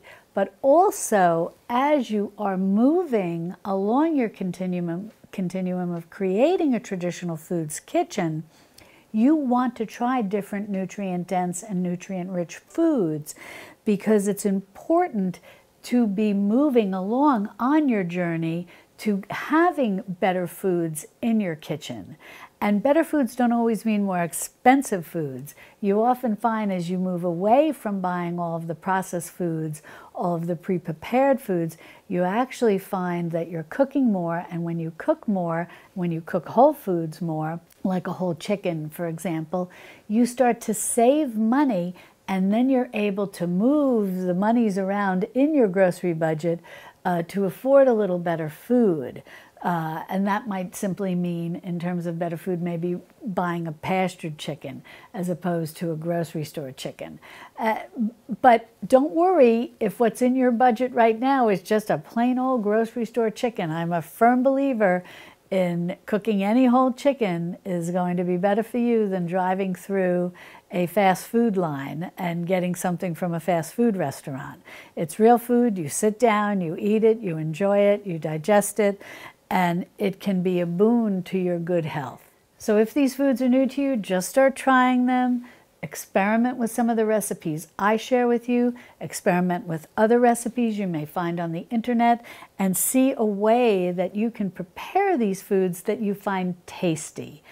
And then they are going to become regular foods that you're going to be rotating through your various meals. And then they're going to become foods because you're rotating them through your meals that you're going to be stocking these in your working pantry and in your prepper or extended pantry.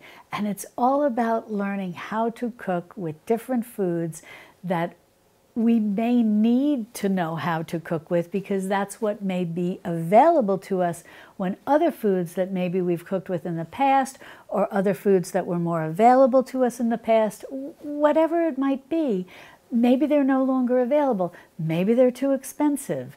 Maybe they're in short supply. Maybe they're rationed at the grocery store. Maybe the grocery store has signs on the things that you like that says only buy two this time or only buy one this time, one per family, whatever the case may be. So that's why we always want to be broadening our horizons, so to speak, in terms of what we learn to develop a taste for, what we learn to be able to prepare that we like, and then what we can stock in our pantries so that we're prepared for whatever happens. Number six, tea and coffee. Now, I know maybe some of you are laughing at me, but given that I'm the girl with two coffee pots, you know that if I'm going to talk about anything, a stocking in your pantry to survive tough times, I'm definitely going to include coffee. But there's something that I want to share with you about stocking coffee and tea that I think is important and something that we can really look back to uh, from during the Depression and during World War II. And that's an ingredient or stocking an ingredient in our pantries uh, that we may not be immediately familiar with. And that is something called chicory. Now, when coffee was expensive or rationed, as it was during World War II, chicory became very popular uh, because you can turn it into a beverage that's somewhat similar to coffee. Chicory is an herb, uh, and it has a little bit of a bitter coffee type flavor to it. Now, I will be honest with you, it may be straight up a little bit of an acquired taste. However, you can take your coffee, and this was commonly done both during the Depression and World War II. Uh, if people did have coffee, they might cut their coffee with half chicory and half coffee. This helped uh, preserve and stretch, make their coffee last longer. And they found that by mixing the two, uh, the flavor was something that was familiar and comforting to them. Uh, some people would just do chicory straight up and they were fine with it. Uh, my maternal grandmother, Louise, didn't like just chicory. Uh, so she would mix, when she could get coffee, she would mix uh, chicory with coffee and then she would enjoy that.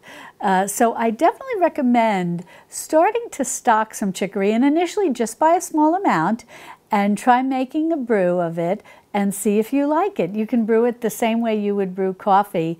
Uh, depending on what type of chicory you have, you know, it's also can be somewhat of an instant beverage as well, like instant coffee, which we'll talk about in a minute.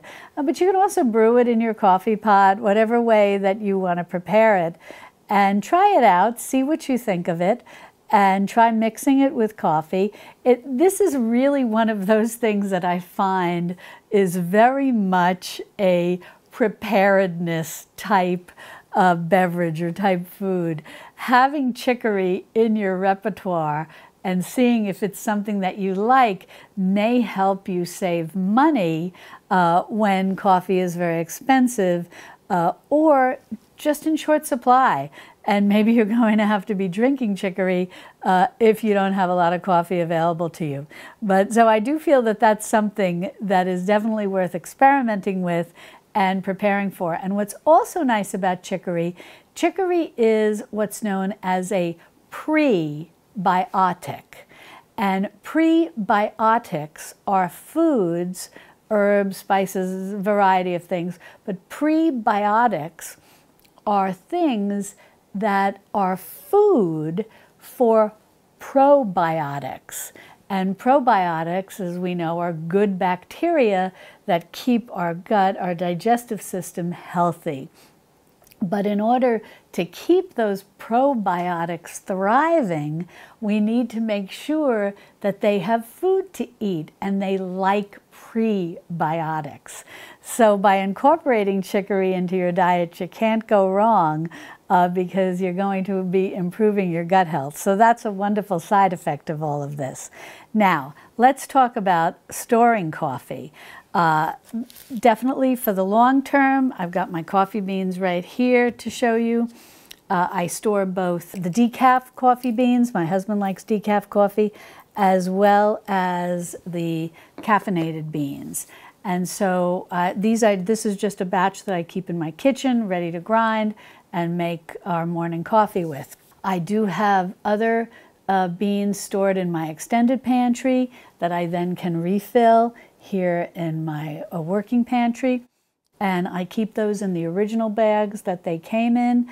They're often vacuum packed and they're very, you know, they feel very hard like, like a brick and I'll keep those beans stored just as as is as they come, you know, from the from the store. Or I often find those big bags of beans at the big box stores, wherever I find them, wherever I can get the best price.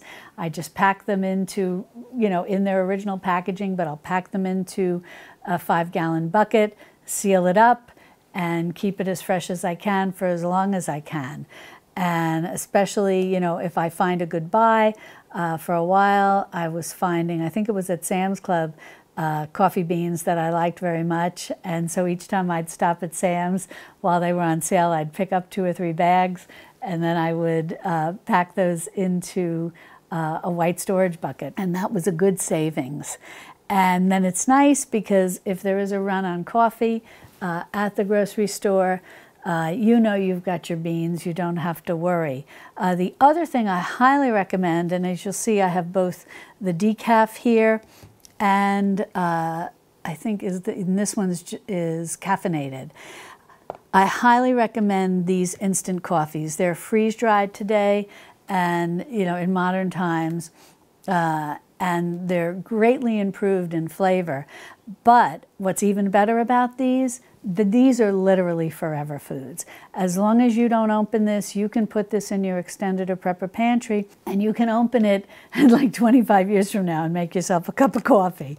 So uh, I definitely recommend for emergencies, if you're a coffee drinker, if you enjoy uh, having a hot beverage, and specifically a hot beverage of coffee, uh, whatever the circumstances may be, having some freeze dried, uh, both decaf and caffeinated, whatever uh, people drink in your household, having these in your prepper pantry can really be a wonderful godsend. Also, in my working pantry, I do like to keep a couple of bags of freshly ground uh, coffee. This is very hard. It's like a brick because it's been sealed very well. And so it does stay fresh. And I like to have these so that if I'm tired uh, or I've forgotten, I've just not gotten around to grinding the beans, and as I said, I'm tired or it's like last minute and I just want to make a cup of coffee, I really like having the pre ground uh, coffee on hand.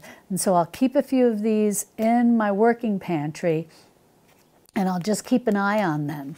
And I'll make sure to use them up uh, before uh, they get past their best by date. Because even though technically, yes, they're still going to be fine past their best by date, they're going to be best before their best by date uh, because it is coffee. It's something that's ground, just like in the case of when I talked about flour and, and different things like that that have already been ground. I personally think, is my humble opinion, that if you try to use them up, you know, within a year, within their best by date, uh, they are going to taste better and just be fresher. So I do keep a few of those in my working pantry. Now, during the Depression, when people may, and, and also during World War II, when home cooks may have been having to rely on just chicory, they were also turning to teas.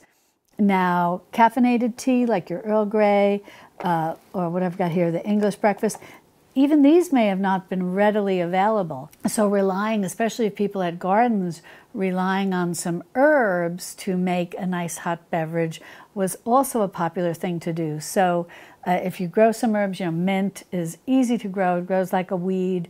Uh, you can even just grow it if you just have a, um, a windowsill garden. Uh, it's very easy to grow, and you can make wonderful mint tea with it. And mint tea is very uh, wonderful for the digestive system in that it can help you digest, you know, after a heavy meal, uh, or if you're having a little indigestion, it can be very comforting uh, if mint agrees with you. Uh, but also just keeping some herb teas on hand uh, can be wonderful to do too.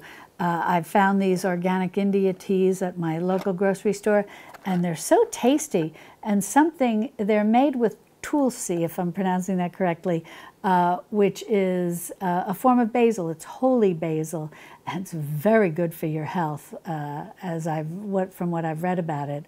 And if you just buy, I have flavored ones here, but if you just buy the plain tulsi, I have to tell you, it tastes like regular caffeinated tea. So if tea is ever, if you like tea and it's in short supply or it's become very expensive, and you can find Tulsi and it's more reasonable. It's amazing to me. I was very surprised the first time I made just plain old Tulsi tea. I felt like I was drinking regular tea. And so, you know, like black tea. And so, uh, definitely keep that in mind as something to keep in your uh, extended pantry. And tea can last a very long time when, you know, just store it well. And if you have the ability to use like a food saver, if it just comes in a box like this and the tea bags are not like sealed in little foil packages uh, like some tea companies will do, if they're just in paper packages, you can go and just put them into a uh, like a food saver type bag, you know, just to keep out air, uh, to really keep them fresh. But I find even just in their uh, box, they stay pretty fresh. At least that's been my experience, uh, even past their best by date. Uh, but uh, I do keep everything stored in a cool, dark, dry place. Uh, but this lemon ginger tulsi, lemon ginger is very flavorful. And this one, although I like to make a homemade blend, if you've seen my video where I share with you how to make a homemade blend of what I call good night sleep tea, it's very easy to make. I think you'll you'll enjoy that recipe. But uh, this is one that uh, has the tulsi in it, and I, it's it's very tasty. And so I don't mind this at all. You know, in a pinch, uh, if you can't get regular tea or regular tea is expensive, again. You know, even though maybe these things are available to us when they were not necessarily immediately available uh, during the Depression or during World War II. Again, it's all about being prepared. We don't know what the future holds. We don't know if coffee and tea will be easily available or readily available. Uh, and so, finding out the herb teas that we like, which may be more likely to be available, uh, is a good thing. And it's a good way to be prepared uh, for whatever may come our way. I just want to mention this is not related uh, to coffee and tea per se, but in a sense it's sort of distantly related. If you like to add some type of milk or cream uh, to your coffee or to your tea, you can certainly keep some powdered milk or dried milk in your extended pantry. And I've talked about this in previous videos. Uh, certainly, you can find that very easily at most grocery stores. It's often in the baking section. Uh, but if you can find some that's low temp dried or even whole milk or whole cream that's been low temp dried, that's wonderful to store. Now, keep in mind the ones that do contain the fat, the ones that are based on whole milk or cream, are going to have a shorter shelf life than uh, your, your skim milk or fat free, depending what term you use, your skim milk or your fat free milk that's been dried and turned into a powder. That's going to have a much longer shelf life. Uh, but those are certainly wonderful to keep in your prepper pantry uh, for when you, if you like to have some milk in your coffee or your tea, or you want to be able to make some type of milk uh, to drink uh, when maybe you can't get out or you can't you don't have immediate access to fresh milk. So these are all things to be thinking about and that I share in great detail with you about varieties and brands and all of that uh, to find these type of products in my previous videos uh, that I have in that playlist that I mentioned earlier where I talk about uh, where I really go into detail about how to develop and how to stock an extended pantry, uh, and not just your prepper pantry, which tends to focus a lot on food. I talk about how to carve out an area of your extended pantry to create a, an emergency or a survival pantry.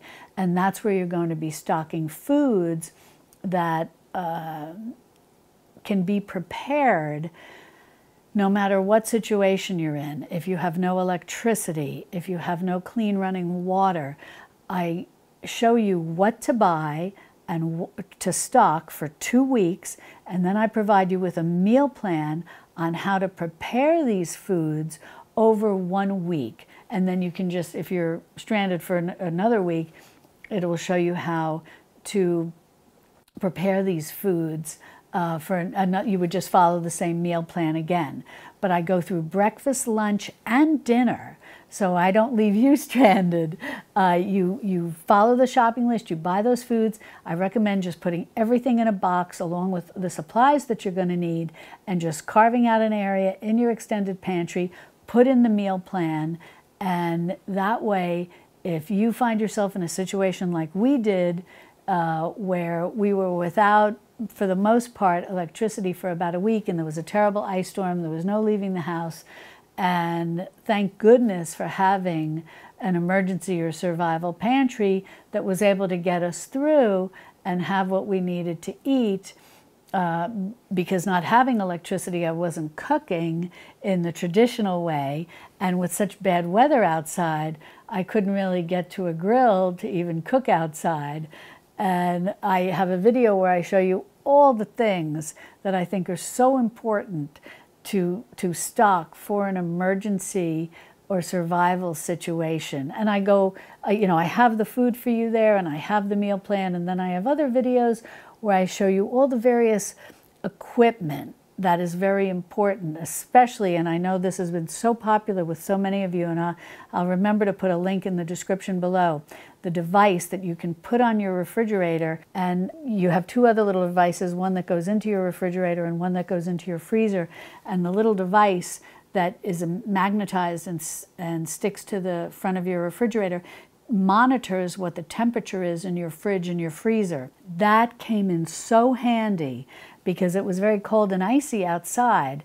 And when the temperature in our refrigerator and freezer, based on this monitor that we were looking at, rose above acceptable temperatures, we put everything outside because it was only four degrees outside.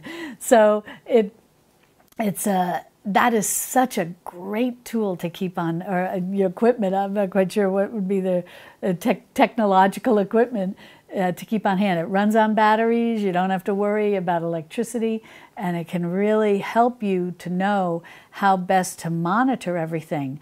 Uh, and if, say, it's warm, hopefully you've purchased a cooler. You know, I talk about that and the different types of coolers and what if you need to get, keep medication cold.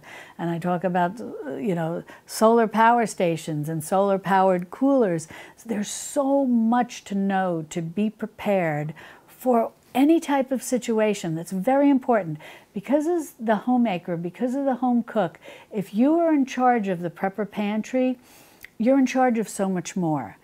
And it's very important that you are prepared not just with extra food that you're prepared with all the proper equipment that you need to deal with an emergency situation in your home and that you have the various equipment you need to help who's ever in your home. For example, as I mentioned earlier, like maybe you have medication that needs to be kept cold for someone in your family. So it's all these different things that play a significant role uh, that the homemaker needs to be prepared for. Uh, but getting back to talking about some creamer for your coffee or tea, Uh, I like to keep coconut cream, and then over here I've got coconut milk. I've got two, again, you know, I'm not brand loyal, I buy what's ever on sale.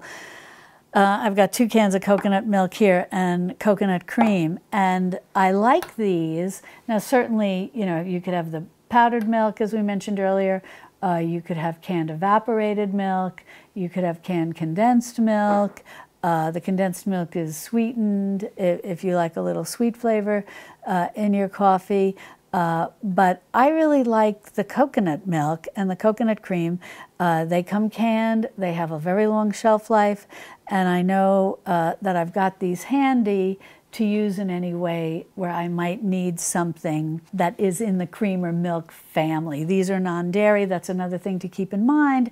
Uh, we, we are not a dairy-free home. We do use regular dairy, uh, but these just store well. But if you have a non-dairy home, these can come in very handy.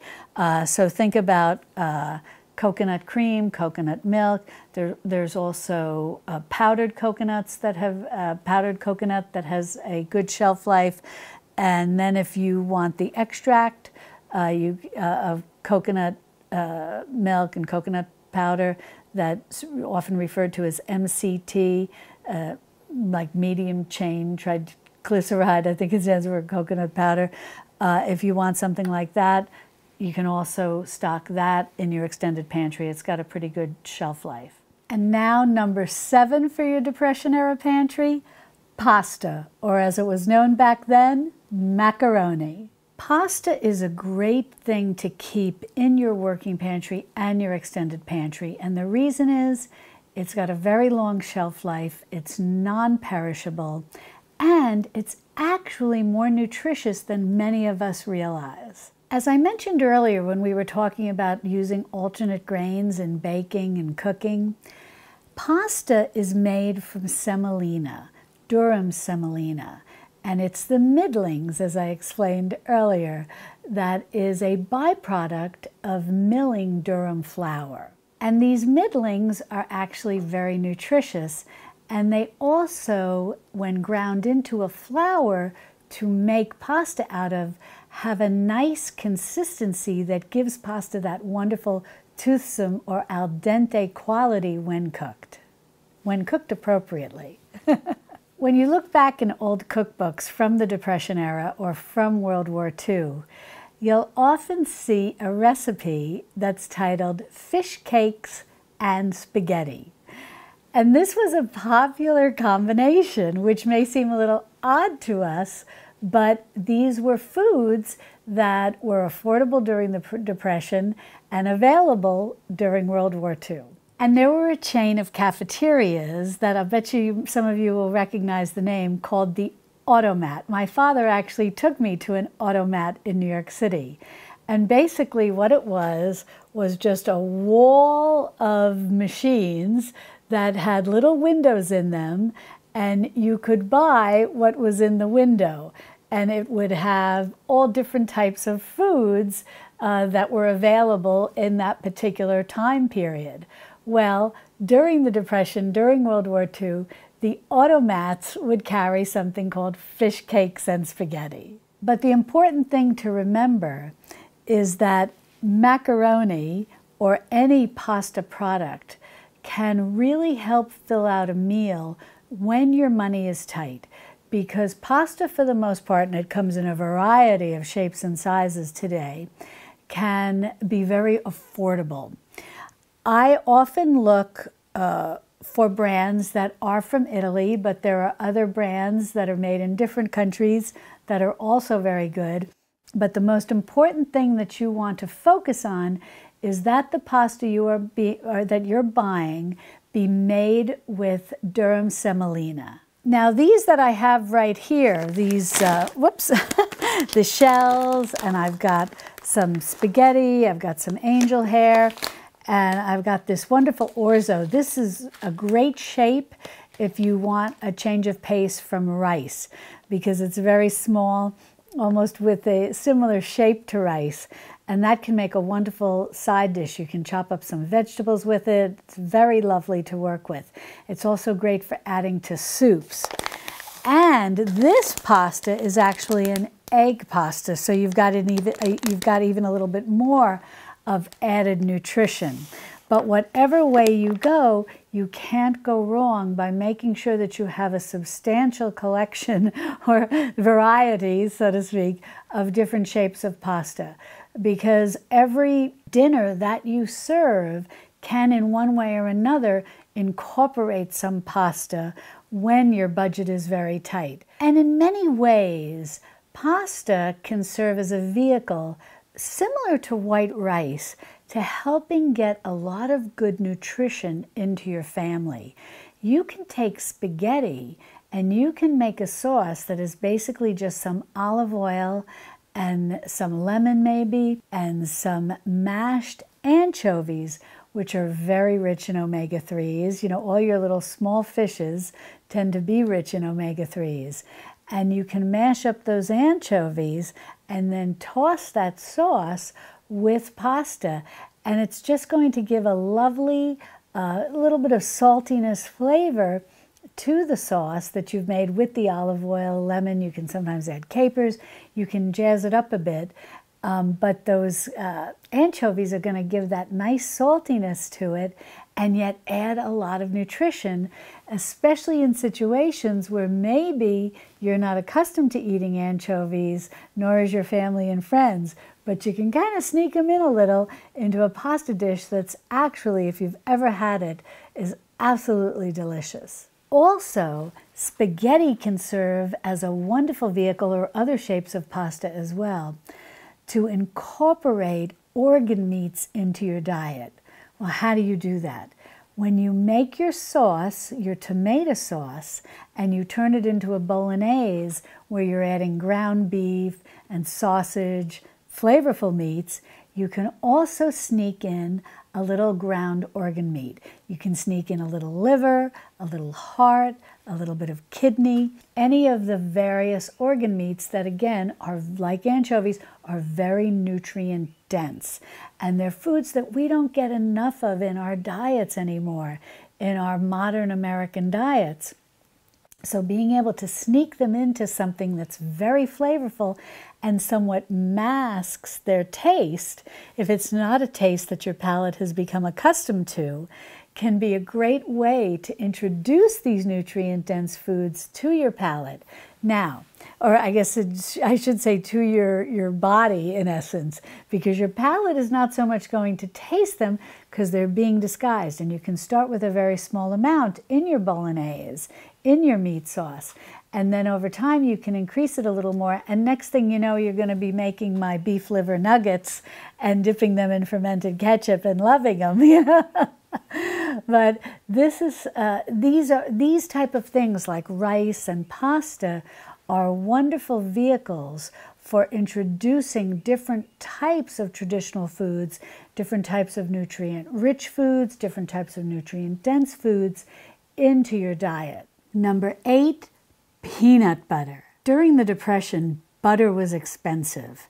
So when you look back in various pamphlets from the federal government or from food companies, they encouraged people to use peanut butter when baking in place of butter and other more costly oils. And then the same held true during World War II, which followed the Great Depression, because butter again was rationed and cooking oils were encouraged to be limited in use. So peanut butter once again came to the rescue and people would use peanut butter to make a whole host of things. And just like I shared with you in a few videos back, peanut butter bread was one of the most popular things to make with peanut butter during the Great Depression and World War II.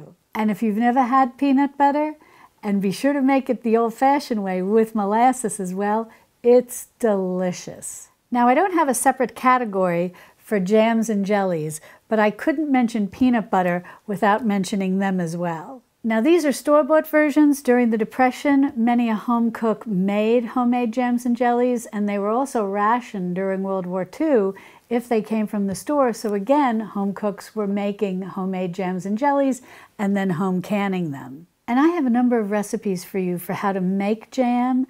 I have a low sugar version And I also have a no sugar version, so be sure to check those out. And I also have a recipe for how to make homemade marmalade. And it's actually a lot easier than you think. And both of these recipes, the jam recipes as well as the marmalade recipe, comes with water bath canning instructions. And I walk you through the whole process step by step. So if you do come into a windfall of either citrus or different types of berries, be sure to consider making some of your own, homemade jams and marmalades and then water bath canning them so that you can store them not only in your working pantry but in your prepper pantry. And from the standpoint of a traditional foods kitchen, when you're shopping for peanut butter, try to find one that is basically just peanuts and salt, roasted peanuts and salt. And the reason is you do not want to be bringing peanut butter into your traditional foods kitchen that's loaded with various highly processed oils or a lot of white sugar. And the other nice thing about buying a very natural peanut butter, one that is just roasted peanuts and salt, it's much more similar to the peanut butter that people, homemakers, had during the Great Depression and World War II. They had what was basically a chunky peanut butter and one that didn't have added sugar or anything else added to it. And so when you use it to recreate these things like peanut butter bread and other recipes from the 1930s and 40s, it's going to be very similar to what these previous home cooks were making. And it's nice, it brings a, a certain amount of authenticity to the food you're that you're recreating. Number nine is popcorn. Now, can you store whole grain corn that you can then grind and make cornmeal? Yes, but popcorn, corn specifically grown to be popcorn, which you pop and eat as a snack, is different. And popcorn, like this, basically is a forever food. So, this is definitely the type of food that not only do you want to have in your working pantry just for fun and to enjoy as a nutritious snack, you also want to make sure that you've got some popcorn stored in your prepper pantry, not only to refill your working pantry, but also maybe as part of your emergency or your survival pantry, since it does have such an extended life in maybe your forever food collection. And what's great about popcorn is in many ways this can be similar to pasta and white rice to be used as a vehicle to get more nutrient dense foods into our diet. And how is that? Because you want to pop popcorn in tallow. Now, what is tallow? If you've been with me for a while, you know that tallow is rendered from suet. And suet is the fat that surrounds the organs of the cow. Once suet is rendered into tallow, it has a very high smoke point and it also has a very long shelf life. And it's perfect for deep frying or popping corn. And tallow is a nutrient dense food. It's very rich in vitamins and often vitamins that we may be lacking in our modern diets. So you can take popcorn, pop it in tallow, and sprinkle it with sea salt and you've got something that's nutrient dense, and you can even take it one step further by sprinkling it with a seasoning that you make. And you can make this seasoning with nutrient rich foods. You can make the seasoning with like ground up kelp or other types of seaweed. You can make a seasoning with ground up herbs. You know, herbs have wonderful uh, nutritional properties, healing properties, anti inflammatory properties, antiviral, antimicrobial. Herbs are amazing, and the same holds true for spices. So you can make these different types of seasonings and then sprinkle them on this popcorn that you've popped in tallow. And then you can also pour some melted butter on it to really increase the nutrient density of your snack. So make sure that you have a good supply of popcorn on hand. Have some in your working pantry for your everyday snacks. You can make it as we shared, very nutritious. And then make sure that you've got some in your prepper pantry, not only to uh, refill your working pantry, but also just to have some backup, some emergency food. Popcorn will never steer you wrong. It seems like a treat, but it's actually very nutritious, and you can make it even more nutritious by popping it in the right fat and seasoning it appropriately. Now, before we move on to number 10, I just want to mention that I've got some bonus tips for you for when it comes to stocking a Depression era style pantry, so be sure to stay tuned for that. Number 10 are shelf stable fats. Now, during the Depression, butter was expensive, and as I shared earlier, a lot of home cooks were relying on peanut butter to fill the need of fat. They also saved any fat drippings from any type of meat based product that they were cooking. So if they were cooking up a little bacon, if they had that, they'd save the bacon grease. If they were cooking up a little sausage, like my grandmother would do, she'd save that grease that would come off the sausage. If she roasted a lamb, a leg of lamb, a leg of mutton, uh, the older lamb, which was inexpensive, she'd save the fat that would render off of that. My other grandmother, my grandmother Mary, if she uh, had a pork roast, she would roast that in the oven and the fat would render because she had the roast with the fat and then the skin on top and that fat would render it's a form of lard she would save that and use that. And so home cooks were very very frugal and very careful about and about saving any type of fat from any meat product including the fat that would render if they were roasting a chicken all of this was saved and all of this was used in some form of cooking or baking. Then, fast forward to World War II, and fats were rationed, and homemakers were encouraged to turn in any fat they had to their butcher, who would then pay them a little bit for it. And then that fat was used for the war effort in one way or another by the military. But what they would do is they would use the fat uh, to the point where they felt that maybe it was getting a little past their prime. And then they would filter out, strain out the various bits and bobs, and then bring that to the butcher. And then that would be then handed over to the military, and they could use it uh, to grease machine, machinery and so on and so forth. And often, when you look at recipes, even going back to World War I as well as World War II, the fat in various recipes was often pulled back. You'll see this in the video that I shared with you last week where I sh showed you how to make war cake. Originally, that recipe called for only two tablespoons of fat. Now, later recipes, because war cake has stayed very popular, that amount of fat has been increased to about a half a cup to make a nice, flavorful, and moist cake. But during the wars, they were only using two tablespoons because they were encouraged to use less fat and then turn over any fat that they didn't need. Well, in essence, not that they didn't necessarily need it, but that it was getting a little past its prime because fat can develop some rancidity when used over and over again. And because they were patriotic and wanted to support the war effort, they would turn in that fat, but they would get paid for it, and that money was very helpful to them uh, to uh, buy the groceries they needed to run their kitchens. Now, you can certainly find suet and render it into tallow. You can also find uh, pork fat, whether it's the back fat or the leaf fat, which is a, what's referred to as the fat that's around the organs of the pig, and then you can render that. Always the fat that surrounds the organs of the animal, whether it's suet or leaf fat, is going to be less odorous than fat from other parts of the animal, whether it's the back fat from the pig or fat cut off of various cuts of beef. So, leaf lard, as it is known, and tallow from the cow are very prized fats for cooking and baking because they're less odorous. And I have videos where I show you how to render both leaf fat, but it can also be the same rules can be applied to rendering back fat if that's all that you have.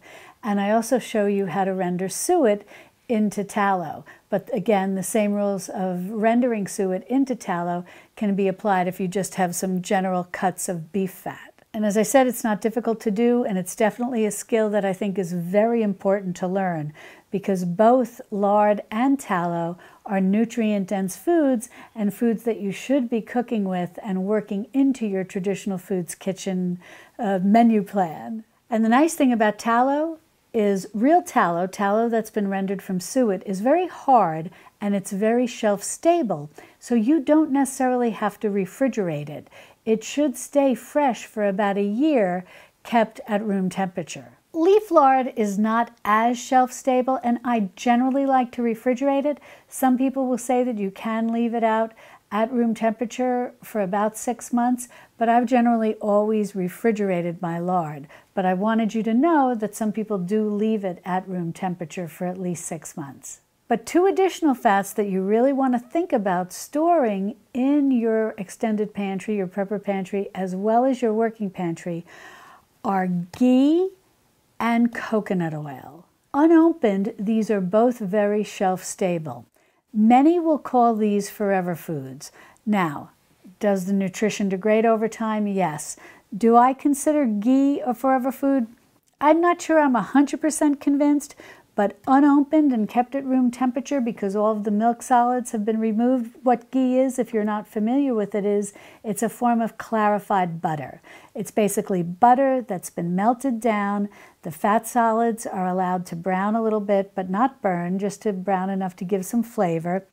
And so then the oil that you're draining off, in essence, a butter oil, is this butter that's been clarified. The milk solids have been clarified out, and it's the milk solids that would have gone rancid. So now you're dealing with a much more shelf stable uh, form of butter. So if you keep this unopened, I like to buy some store bought ghee. We'll talk about homemade ghee in a minute. I like to buy some store bought ghee and basically put this in my extended pantry and just leave it there uh, until I feel I really need it because I've not been maybe able to make some homemade ghee. Uh, and as I said, I'm completely comfortable keeping this well past the best by date. If forever, I'm not sure, but I definitely think it can last a lot longer uh, than what the best by date indicates. And the same is true of coconut oil. And what I find really nice about coconut oil is that my experience has been it's, it's extremely shelf stable. You can store this in your extended pantry, you can open this, use it, uh, even opened, but obviously with the lid on, I store it right uh, into my, in my working pantry. I don't feel a need to refrigerate this. And it's, not, it's easy to work with, it stays nice and soft, and yet I've never found this to take on a rancid odor. So I think that coconut oil is quite shelf stable. And these are basically solid fats, and you always find that solid fats are more saturated than, or they're rich in saturated fats than your liquid oils.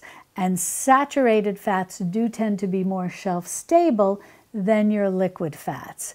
Now, what about olive oil? Olive oil is one of the few liquid oils that I do like to keep on hand, but I only store olive oil in my working pantry and I use it up relatively quickly because I do find that olive oil can go rancid relatively quickly. And a good way to test your olive oil is to put a little bit between the palm of your hands, rub it together, and then smell it. If it smells off or something not right, or you don't find the smell pleasant, it's probably gone rancid. If it smells like very fresh, very, if, if aroma can have the description green, if it smells somewhat herbaceous, uh, like an herbal or green, it's probably fresh and fine to use. So I have found generally I like to make sure that once I open a bottle of olive oil that I'm using it up in three to six months. And I use a lot of olive oil, but I also buy smaller bottles. And this way that allows me flexibility to use it up relatively quickly. Now, can you make ghee? Going back to talking about ghee, yes, it's very easy to make. Uh, basically, you're just melting butter, letting the milk solids drop to the bottom of the pan, allowing them to brown a little. If you don't let them brown at all and scoop them out right away, that's basically clarified butter, what is commonly used in French cooking. If you allow the milk solids to brown up a little bit and flavor the butter oil, then it becomes ghee. And you often hear ghee being used very commonly in Indian cooking, but it's beautifully flavored uh, because of the little bit of browning of the milk solids and can be used in various cooking applications. It's got a good smoke point, just like coconut oil has a good smoke point. And smoke point meaning the temperature at which you can heat these oils before they burn. I don't necessarily recommend frying with them. I think you're always better off frying in tallow, especially since ghee and coconut oil tend to be more costly, I would say, per ounce. Even if you make it homemade, I would say it's more costly per ounce uh, than tallow.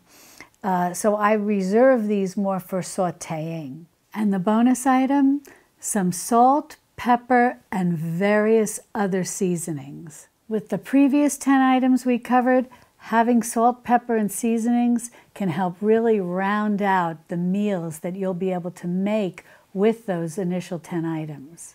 Now I like using both the Celtic sea salt as well as the Redmond real salt. These are wonderful if you're at the point where you're on your traditional foods journey and you're making ferments. These type of salts are exactly what you want. And the reason that you want these is because they have no additional ingredients other than just salt. If you have salts that have chemicals in them or anti caking agents, things like that, that can impede the fermentation process. And whenever we're fermenting, we want to give ourselves give ourselves as much success as we can as possible. And having the right salt can make all the difference in the world.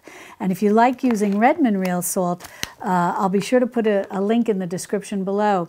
Uh, where I have a coupon code for you to get a discount off of that if you decide to buy that. And as I said, none of this is sponsored. I bought this Redmond Real Salt myself, uh, but whenever I find a product that I like, I always contact the company and ask them if they'll provide a discount code for you. And so Redmond Real Salt was great to do that. But in any event, some other things, you know, always, you know, you can never go wrong with having black pepper. I like to have the peppercorns. They, they stay nice and fresh, and then I just put them in a pepper mill and I grind them, and I'm all set. I buy these larger containers at places like Costco or Sam's Club. Uh, I've also got some red pepper flakes here. They're always nice if you like spice. And I've got here just a, ba a, basic no salt seasoning. And what's so nice about this is you can control the amount of salt and what type of salt uh, you want to put in your seasoning. And yet this has kind of a little bit of everything. So I find this very versatile. And I just want to mention, talking about clearance aisles, as I've shared with you earlier, I found this beautiful, the box is all bashed up, but the packaging inside that's holding the salt is completely fine. And this is a Maldon sea salt flakes.